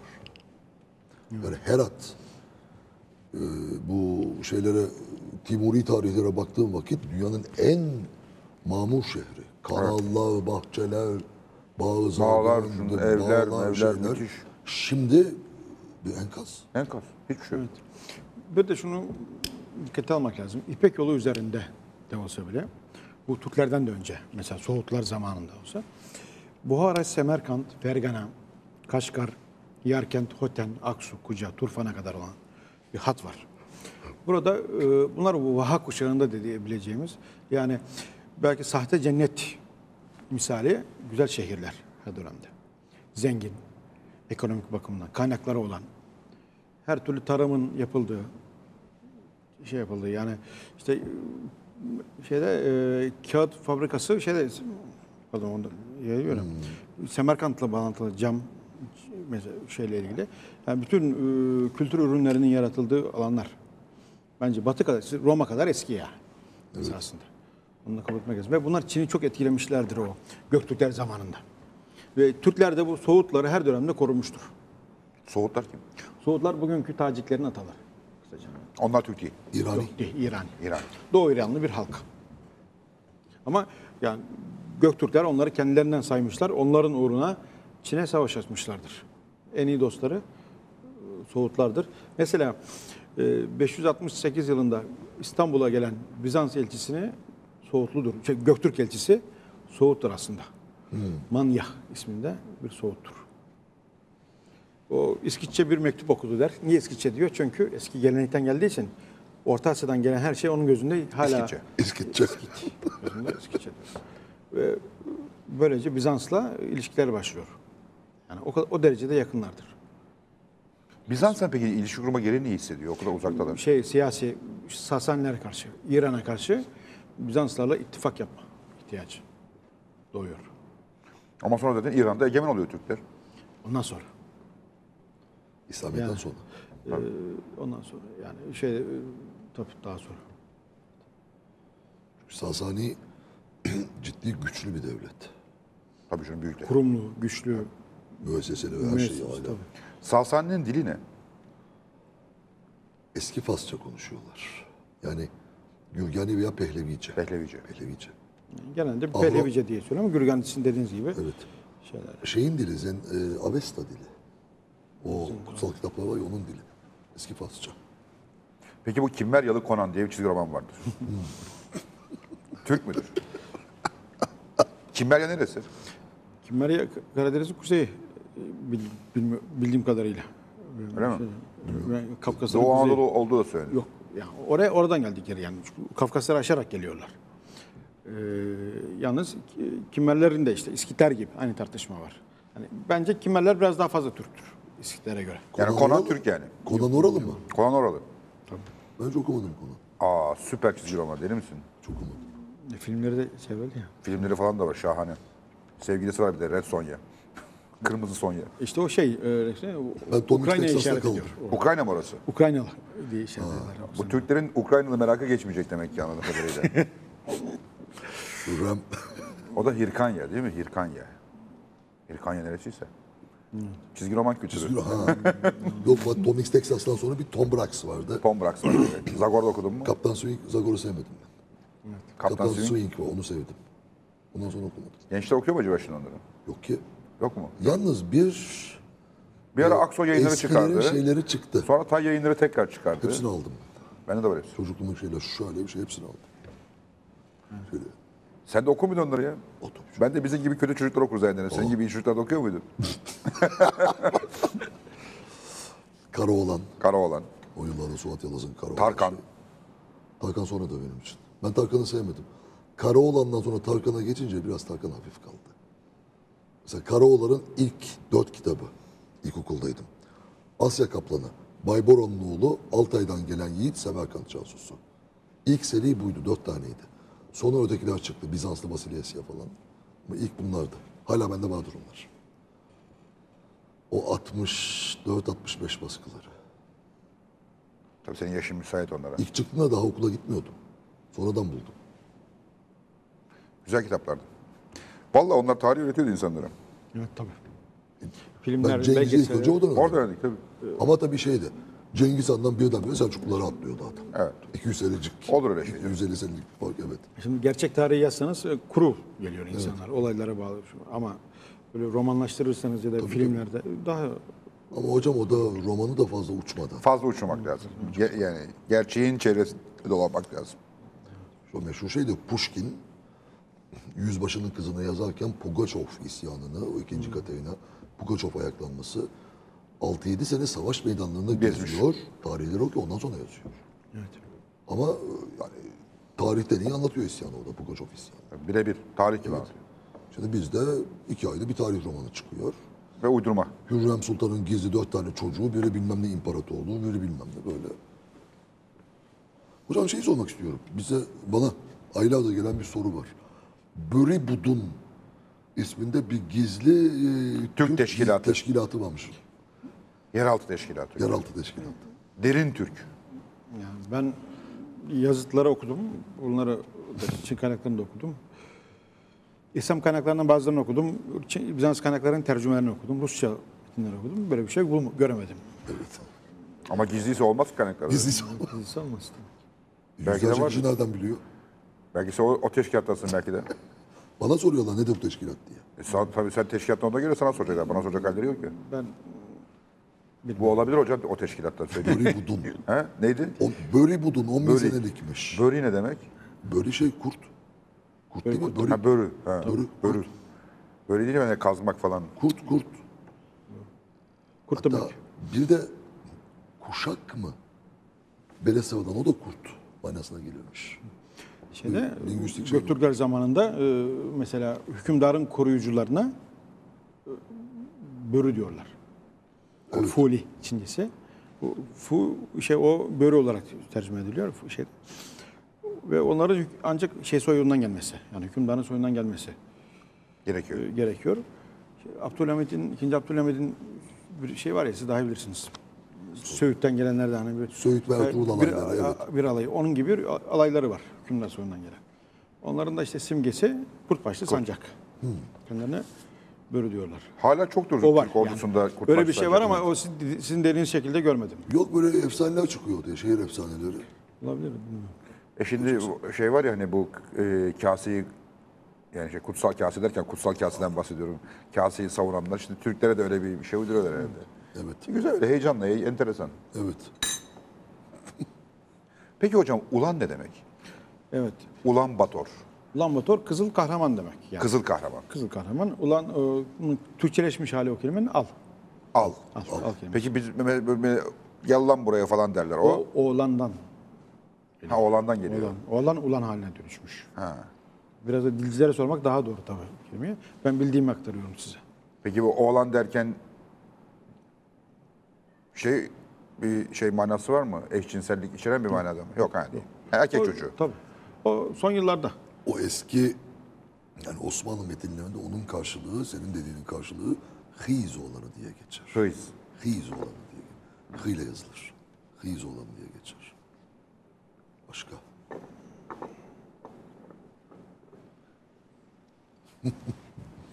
Ten rengim oldukça koyu. Afrikalı gibiyim. Neredeyse birçok yerde dalga konusu olmuşumdur. Rahmetli dedemden ki onun ve onun dedesi de aynı tene sahip epey koyu öğrendiğim kadarıyla Maraş tarafından göçmüşüz ve Türkmenmişiz. Türklerin belli bir ten rengi var mı? Yok yani bu yaşadığınız yere göre değişir. Şimdi kuzeyde yaşarsanız Beyaz Bul- Bulgarlı beyaz olursunuz. Güneyde yaşarsanız esmer olursunuz. Yani. Şimdi Bozkır'da yaşar yüzünüz sürekli yaz, kışın güne- yazın güneşten, kışın kardan yanar, soğuktan yanar. Ve esmer olursunuz. Esmer olursunuz tabii. Başka şansınız yok. Vücudunuz ona uyum sağlar. Peki göz rengi, saç rengi, ten rengi. Yani ten rengi değişti de göz Biraz- rengi biraz değişir o mi? var. Şimdi bu en son araştırmalarda yani dünyadaki insanın %90, genleri %99.9 aynıymış. Şimdi Afrika'da tabii gü- güneşe dayanmak için, kanser olmamak için siyah, tenleri si- siyah. Kuzeyde de tam tersine beyaz. Böyle yani Peki Türklerin bir göz rengi var mıdır mesela? Türk göz rengi bu renktir diyeceğim bir şey var mı? değişik görüşler var da ben katılmıyorum buna. Öyle bir şey olamaz yani. Ne diyorlar? Yani genelde e, işte sizlerin göz rengini şey olarak yani e, ela ya da Kahverengi. ala şeklinde kahverengi söylüyorlar. Ama e, mesela Altaylar'da bulunan bazı iskelette mavi göz olduğunu söyleyenler de var ama ilk o belli değil. Şimdi ikisi de olabilir yani son- şey değil bence hani laboratuvar şey çok tehlikeli gibi şey. İnsanlar Laboratuvar merak ediyor. ırkçılığı. Çok tehlikeli. Bu nedense bizim ülkemizde yapıyorlar hep bizde. Batılar yapmaz mı bunu? Yani Batıların kendi anlamlarında öyle bir yapıldığını ben görmedim. Yani işte Hitler tabii o Almanya Hitler başka da. Onun dışında şey değil ya mesela. İlk ulus devlet de Fransa'dır yani. Fransa'nın hepsi aynı kökten mi geliyor dünyada? Oo Fransa'daki ka- karışıklıklar da var. Karışık. Türkler Fransızlar kadar karışık değil. Yani karışık olanlar vardır ama Fransızlar kadar karışık değil. Türkler de bayağı karışık ama anladığım kadarıyla. Ya o, mutlaka karışıklar vardır ama karışmayanlar da vardır. Yani şimdi şey de değil ya. O kadar tabii biz Araplara tamamen karışmadık. Ya da İranlarla mesela geçtiğimiz coğrafyalara baktığımız zaman yani karışmayanlar yoktur demek anlamına gelmez. Ya şimdi Kafkaslardan gelenler var. Anadolu'ya. Şimdi o anlamda değil. Mesela o Çerkezler Türk müdür? Değildir değil mi? Şimdi Kafkasya konusunda söylediğimiz gibi yani şimdi Kıpçaklardan kalan gruplar var Kafkaslarda. Karaçaylar, Balkarlar ve vesaire şeyler. Ama Türk olmayan gruplar da var. Yani bu anlamda baktığımızda hiç Adige yani Çerkezler, Abazalar falan değil. Ama e, Türkiye, e, biz Çerkezler, yani Kafkasya Türk dünyası dairesi içerisinde düşünmek durumundayız. Hem jeopolitik, jeostratejik açıdan hem de tarihsel anlamda iç içeyiz. Bir şey değil yani. Gürcüler bile buna dahil. Dahil. Ermenice bile Kıpçakça ile karışmış. En son bir kitap gördüm alamadım. Ee, Ermeni kaynaklarında Kıpçakça değil. E, yani Polonyalıların Zayaçkovski'nin falan araştırmaları var. Zayaçkovski, evet. Bilo- şeyde. Yani Kıpçakça Ermenice'de bir dil oluşmuş. Aynı Nasıl? Kıpçak Ermenicesi. Erme, Ermeno Kıpçaks diye öyle bir dil oluşmuş. Peki şimdi Tam Türkler, ben onu fişlemiştim de unuttum şimdi şeylerini kaybettim. e, şimdi Ana- Ana-. Anadolu'ya Türkler gelmiş. Ak- ak- efe- efendim. Pardon özür dilerim lafınızı kestim ama. Anadolu'ya Türkler gelmişler. O işte Oğuz boyları, şu boyları, bu boyları. Peki buranın yerel halkı ne olmuş? Kaçmışlar gitmişler mi? Bunun en iyisini Bizans kaynaklarından Pahyomeros diyor. Türkler geldiğinde, Türkmenler geldiğinde Anadolu bir Türkmen deryası oldu. İçindeki Bizans tek bulutları da tek Türk adacık gibiydi diyor. Bunu diyen. Pahyomeros. E, Demek ki gitti, boş yani hem şey yaptı, yüzyıllarca boşaldı hem de az az gruplar olarak kaldı. Ama şimdi şunu biliyoruz ki Anadolu'da e, 18. yüzyıla kadar 3 milyon civarında Rum var. 1 milyon civarında da 1 milyon üzerinde de 2 milyona yakın Ermeni var. 3 milyon Rum olduğunu Yoktur. zannetmiyorum. Çok büyük Kim abartı söyledi burada? Geçen gün hoca söyledi. ya. rakam. Şey yoktu ama Yoktur çünkü o Oğuz göçü çok yoğun. Yani onun benim Buradaki dediğim söyleyen nüfusun Bizans kaynakları. kaç katı geliyor? Bizans kaynakları ve bu yüz, yüzyıllarca süren bir göç ama şimdi Ermenileri derken de sadece Türkiye'deki değil, Kafkasya'daki Ermenileri hepsini kastetmişlerdir. Evet. Ee, Osmanlı toprakları. Osmanlı toprakları diye söylemişlerdir ama tabii Yunanistan da buna dahildir. Yani belki de ondandır. Ama Anadolu durumlar tabii var sahil bölgelerinde. Şeyde özellikle İstanbul'da. Ol- Olmazsa gayet doğal. Hayır yani bun- bundan sonra Türkleşmediler mi? Veya bugün bu topraklarda yaşamıyorlar mı Türk kimliği altında? Ben zannetmiyorum. Kaçtılar mı hepsi yani? Göç ettiklerini düşünüyorum. Kalanları Rum olarak kalanlar var ama yani benim görüşüm o. Şeyleri Peki Hititler ne oldu? Hatta bunlarla birlikte Hristiyan olup eskileri Hristiyan soruyor. olup Türkler de Peki gitti. Hititler ne oldu mesela? Frigyalılar ne oldu? Onlar hepsi Bizans patosu içerisinde eridi. Türkler gelmeden bin yıl önce. Doğu Roma İmparatorluğu esas şey oldu ve Roma, Doğu Roma, Bizans onun içerisinde eridi. Tabii Türkler geldiği zaman Rumlarla. Hocam yani. ben Çorum'a gittiğim zaman vallahi bakıyorum Hititliler dolaşıyor sokaklarda hala yani. Hitit'i nerede gördün? Evet. Kamatmalardan. Ha. Aynı tipler. Şeydir. Yani o anlamda baktığımızda e, şey mesela ayrıca Rumlarla birlikte Hristiyan Türkler de gitmiştir Yunanistan'a biliyorsun. Allah aşkına karavanlar gitmiş. Tamam, şeyde. Açıkça yani o şey değil. Ha da karışmıştı ben ona da tam karşı değilim yani. Karışmıştı olanlar da vardır. Türk yani Müslümanlığı kabul edip işte isimlerini değiştirip kalanlar da vardır. Gayet normal. Can güvenlikleri açısından. Kimse bulunduğu yeri kolay kolay terk etmek istemez. Yaşadığı yeri. Tabii canım zenginliği. toprağı orası. yani. Toprağı orası. Normal. Kaldı Murat merak ettiğim bir şey. Yavaş yavaş kapatalım. Saat bir buçuğu bulduk. Bir buçuk oldu. Şu son gelen sorulara şöyle bir Ama bakayım. neyse o bir şey var mı diye. gelen sorulara cevap aldık. Seyircilerden. Savaşçı Amazon kadınlar Türk kökenli midir diyor. Yani delil yok Türk olduklarına dair. Ama Karadeniz'in kuzeyinden e, işte, ana Samsun bölgesinden geldikleri, onların da işte bir araştırmada Batı Moğolistan'daki Kazakların arasına kadar genlerini araştırarak bir sonuç ortaya çıkardılar. Bunlar ne derece doğru bilemiyorum. Al şimdi sana güzel bir şey. Yazın, yanınızdaki tarihçiye de sorun. O belki bilir. Bilir de bilmemezlikten gelir. Türk kelimesi Osmanlı'da Beni Adem demektir. Yani Adem'den geldik demektir. Dur okuyayım dur dur dur dur daha bir şey değil. Osmanlı'daki Türkler Adem'den geldiğini kabul ederken neden yeni bir ata yani Atatürk çıkardınız?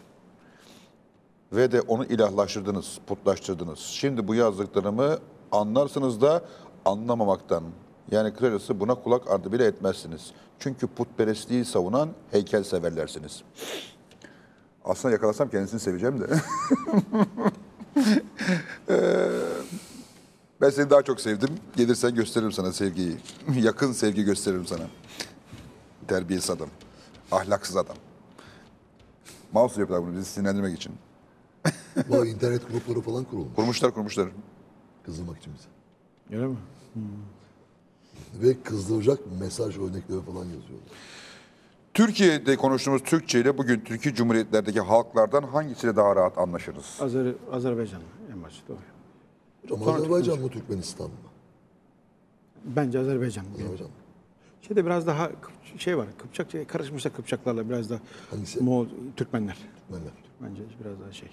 Azeri, Azerbaycan en yakın o. Benim bildiğim. Ama bilci belki daha iyi cevabını verebilir yani buna. Peki bütün bu cumhuriyetlerde, Türkiye Cumhuriyetlerde İslamiyet hakim.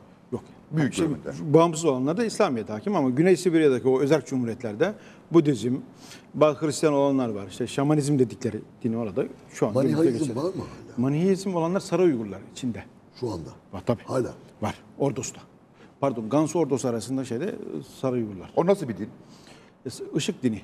Tam bilemiyorum. Yani şöyle ışığa tapılan e, ateş dinde diyorlar.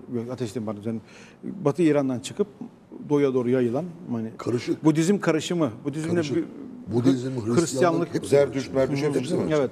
Hepsinin karışımı bir din. Işık dini dedikleri. Güzelmiş, total. Her şeyden var biraz. Şeyin e, romanı vardır ya. E, Jardin de Lumière miydi? Işık Bahçeli şeyin. Emin Maluf'un. Mani'yi anlatır. Ama bize de en kaynak kitaplardan şeyin biri de Manihaizmin kabulü. Şeyi soracak şimdi bu Müslüman olan Türk Türk Cumhuriyetlerinde bugünkü hangi İslamiyet tarzı var? Yani bizim e, mesela Aleviler gibi mi? Sünni. Şiilik mi? Sünnilik. Sünnilik mi? Sünnilik bizimki giderek Araplaşıyor, onlarınki de giderek Araplaşıyor mu? Bir Vahabi etkisi oralarda da görülmeye başlandı mı? Yoksa buna karşı bir mücadele ediyorlar mı? Çünkü Özbekler mesela buna karşı mücadele ediyor. Özbekistan lideri biliyoruz. Evet. Şimdi şöyle e, merkez e, yani tabii ki Ö- Özbekistan, Buhara, Semerkant. Oradaki özellikle Buhara'daki Miri Arap Medresesi Sovyet döneminde kapatılmayan tek medrese. E, Bununla birlikte 1980'lerde Afganistan olayları sırasında bir Orta Asya tipi din yaratmak istemiş Sovyetler, Rusya. Başaramamışlar. E, Dediğiniz gibi bazı akımlar var ama genelde işte bu taş Özbekistan merkezi olmak üzere ki Sünni olduğunu söyleyebiliriz. Fakat e, yani bu sizin söylediğiniz akımların olmadığını söylemek de mümkün değil. Ama bizdeki gibi değil oradaki İslamiyet. Çünkü uzun bir komünist rejim var. Unutulmuş, yasaklanmış, kapatılmış birçok şey. İbadethaneler Evet. kapatılmış imamlar. Ve Yavaş yavaş. orada biraz sözde de biz Müslümanız gibi. Azdır orada Şimdi uygulaması. Özbekistan'da farklı, daha koyu ama Kırgızlar ve Kazaklar arasında daha hafiftir diyelim. Daha, daha, daha. Çünkü onlar göçebelikten yerleşikliğe daha geç geçtiklerinden dolayı şey kadar yani Özbekler kadar e, Evet. koyu bir şekilde yer almamıştır. Hocam bir vatandaş diyor ki iklime göre ten rengi değişiyor dedi ama yüzlerce yıldır Afrika'da yaşayan beyazlar var hala bembeyazlar. Doğru. O da, o da doğru. Doğru, doğru diyor. Hani bunun benim e, okuduğum antropolojik çalışmalarda yani en azından tabii zencilerinde e, kaç yüz bin yılda, kaç milyon yılda o hale geldiklerini bilmiyoruz. Kuzey değil mi? Şeylerde. Azerbaycan Şia değil mi çoğu? E, şi- ya- Azerbaycan evet, Şiadır, şi- evet. Şia. Şia çoğu ama mesela Azerbaycan'daki Şiilik İran gibi değildir. Çok çok farklı kolları var onun altlarında. Bir unutulma var bir de. Özür dilerim lafınızı kesiyorum şimdi ama konudan konuya. Şimdi geçen programda da konuştuk ya İskender. Ee, İskender'le Türkler arası bir savaş olmuş mu hiç? Büyük Öyle İskender'le. bir şey- kayıtlı değil. Varsayım olarak e, düşünülüyor. Bence İskender abartılıyor. Ta- dünya tarihçiliğinde. Öyle mi? Tabii Doğu Seferi abartılıyor. Evet. Kaynak olmadan şöyle geldi böyle geldi diye. Hatta e, kendilerini e, işte Alexander Alexander Makedonski diyorlar. Evet. E, O şekilde o soya bağlamak isteyenler dahi olmuştu. Doğru değil tabii bunların hiçbiri. E, biraz abartıyorlar. Bu da işte Batı tarih, Batı eksenli tarihçilikten kaynaklanıyor bence. Yani İskender olarak da gitmemiş mi? Yani ben tam olarak Orta Asya'ya gittiğini düşünmüyorum. Hani Afganistan'a gidip oradan Hindistan'a inmiştir. Ama gittiğine dair de pek kayıt, kanıt yok. Bir eser yok. Ee, şey var. Hangi yıldır tam İskender? 330, 330, 320'ler o yıllar olması lazım. Zaten bütün olay kaç sene? önce. 15 sene mi sürüyor? olay? Ama Doğu Seferi de yani bir büyük devletler kurarak. Kurarak değil canım. e, savaşarak gitmiş böyle. Şey gibi bir bir talancı çekirge sürüsü gibi gitmişler Bir yani. sefer gibi. E, Gidiyor öyle bir turistik sefer gibi. sonra- Bölgenin iti kopuğu da ona katılıyor orada. işsizi güçsüzü. Evet. Değişik bir şey. Evet. Yani bir, bir fetih falan yok ortada. Yok. Öyle büyük ordu. Kavga dövüş gidiyor adam yani. Kavga ede de gidiyor. Biraz macera perestler grubu gibi. Yani onun gittiği yerlerde o zaman Hunlar daha kuzeydeydi. Daha da. Daha kuzeydeydi. Yani şey olarak. Oralara ulaşmadı. Abartıldığını düşünüyorum. Bunun Çincesi nasıl? Çincesi. Neyin? Hun. Şonlu. Şunlu. Şonlu. Neler? Nazal galiba. Burundan neler? Şey, tabii şey gibi yani şöyle kalemimize şey yani NG şeklinde. Ha, NG Sarı yazıyor. kef var Osmanlıca'da onun gibi. Sağ kenar. Şu yani. Evet. Yeni yazdık. Ha. Şonlu. Normal ne yok mu Çin, Çince'de? Var ayrıca var. O var ayrıca. Ayrıca var. O da. Peki bu şey var. Ee, Mesela ünlü, Vanlılar bunu kullanıyor. Bazı mesela han diyorsa o han diyorsa han ne normal nedir? Normal ne? Ha. nedir o? Ünlü savaş şeyi, ne, strateji uzmanı. Sun Tzu. Sun Tzu. Sun Tzu. Son zı okunur. Son zı. Zı. Sun Tzu. Son zı. Söyleyemiyoruz bile. Biz ona Sun Tzu demeye devam ederiz. Mesela Çince I love you nasıl deniyor Jotem? Seni seviyorum. Nasıl deniyor Çinliler? Wo ni. No ni. Wo wo ai ni. Wo ai ni. Wo aynı. Ne oldu Çin'e mi gitmeye karar verdin? I var başta. Acaba Ay, Hint. Avrupa mı? I love you. Yok o tam ben sevmek seni şeklinde. Ben, Ben sevmek seni. Şahane bir dil. sevmek sen aslında pardon. Ben sevmek sen. Mesela eve gidiyorum. Wo chu ca. Ne demek? Nasıl oluyor? Ben gitmek ev. Ben gitmek ev. Ben git- gittim. Wo chu lı lı ekini getiriyor orada. Ya da chu go gi- geçmek fiili var onu bazen onu kullanıyorum. E, yanlış fiil koyuyor. Yani tabii iki fiil. Genelde iki fiil kullanılır her zaman şey gibi. Enteresan bir dil. Swahili gibi zaman şeyi yok. Ben böyle Swahili'yi Ya Mısır'da- Swahili'yi nereden biliyorsun Allah Mısır'da aşkına? bir ara konuşuluyordu. Arapça. Mısır'a kadar çıkmış mı Swahili? Oralı çok iyi zamanı senin Ha. dediğin şey.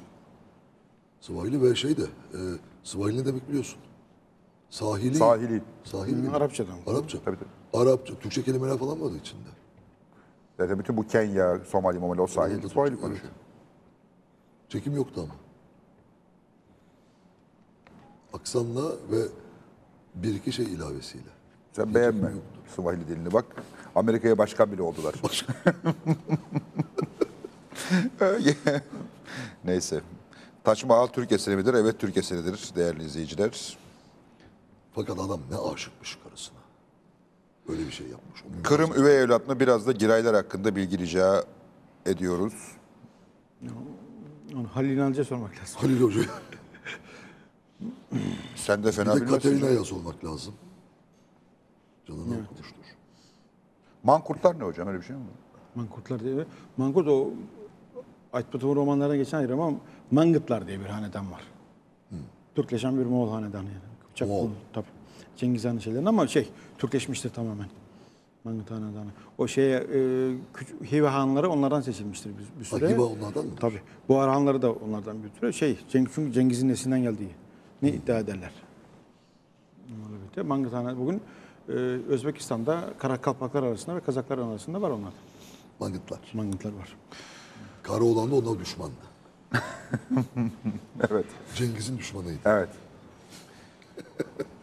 Saç dökülmesinde de Türk tipi varmış. Türklerin arkadan tepeden dökülmeye başlamış, Avrupalıların önden geriye doğru gidermiş.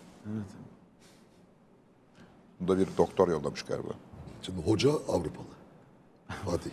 Arkadan dökülüyor, önden de dökülüyor. Bizim ne olacak yani? Mix. Biz karışıyoruz. Senin de öyle, benim de öyle. Dört taraf, üç taraftan dökülüyor.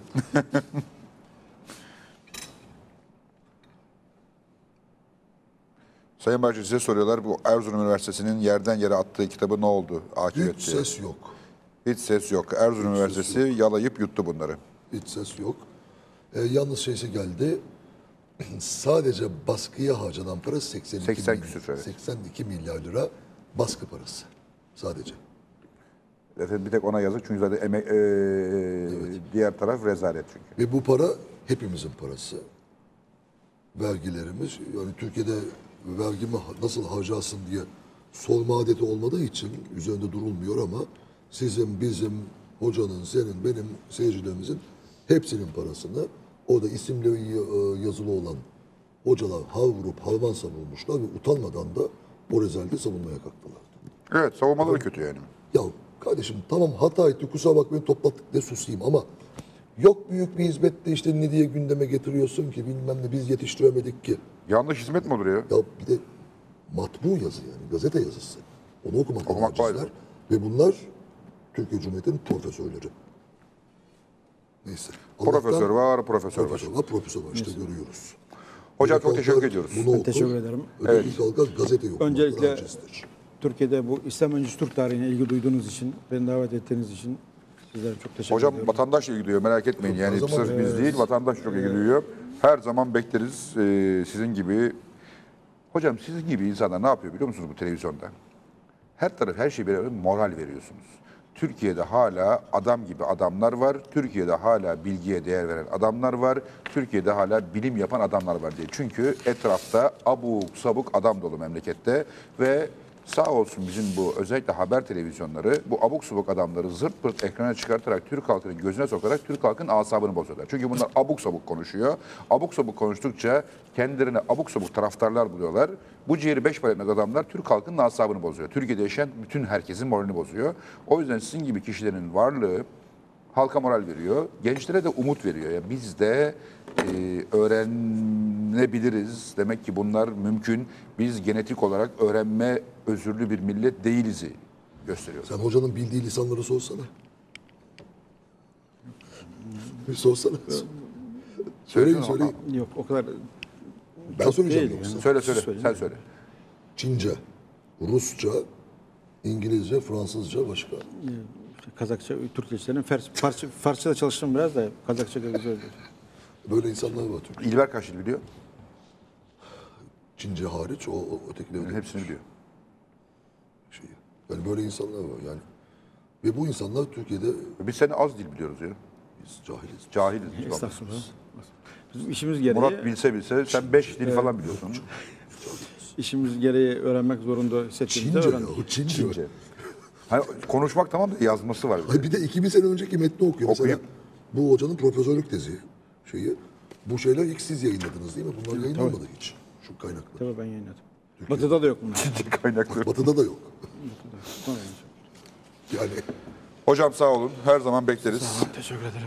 Değerciler size de bu saate kadar izlediğiniz için teşekkür ediyoruz. Ee, biliyoruz geç saatte yapıyoruz bu işi ama erken saatte de olmuyor işte. Bu saat iyidir. Ee, öğrenmek için gece geç saat her zaman daha iyidir. Öğrenenler gece çalışırlar. Ee, çok bilenler gece çalışırlar. Ee, o yüzden çok da dert etmeyin. Yarın işe geç kalabilirsiniz. Önemli değil. Ee, müdüre, amire Murat Bardakçı'nın selamını söyleyin. ondan korkacaktır. Ee, ondan korkmazsa benim resmimi gösterin kesinlikle korkacaktır. Ee, haftaya görüşmek üzere efendim. Hoşçakalın.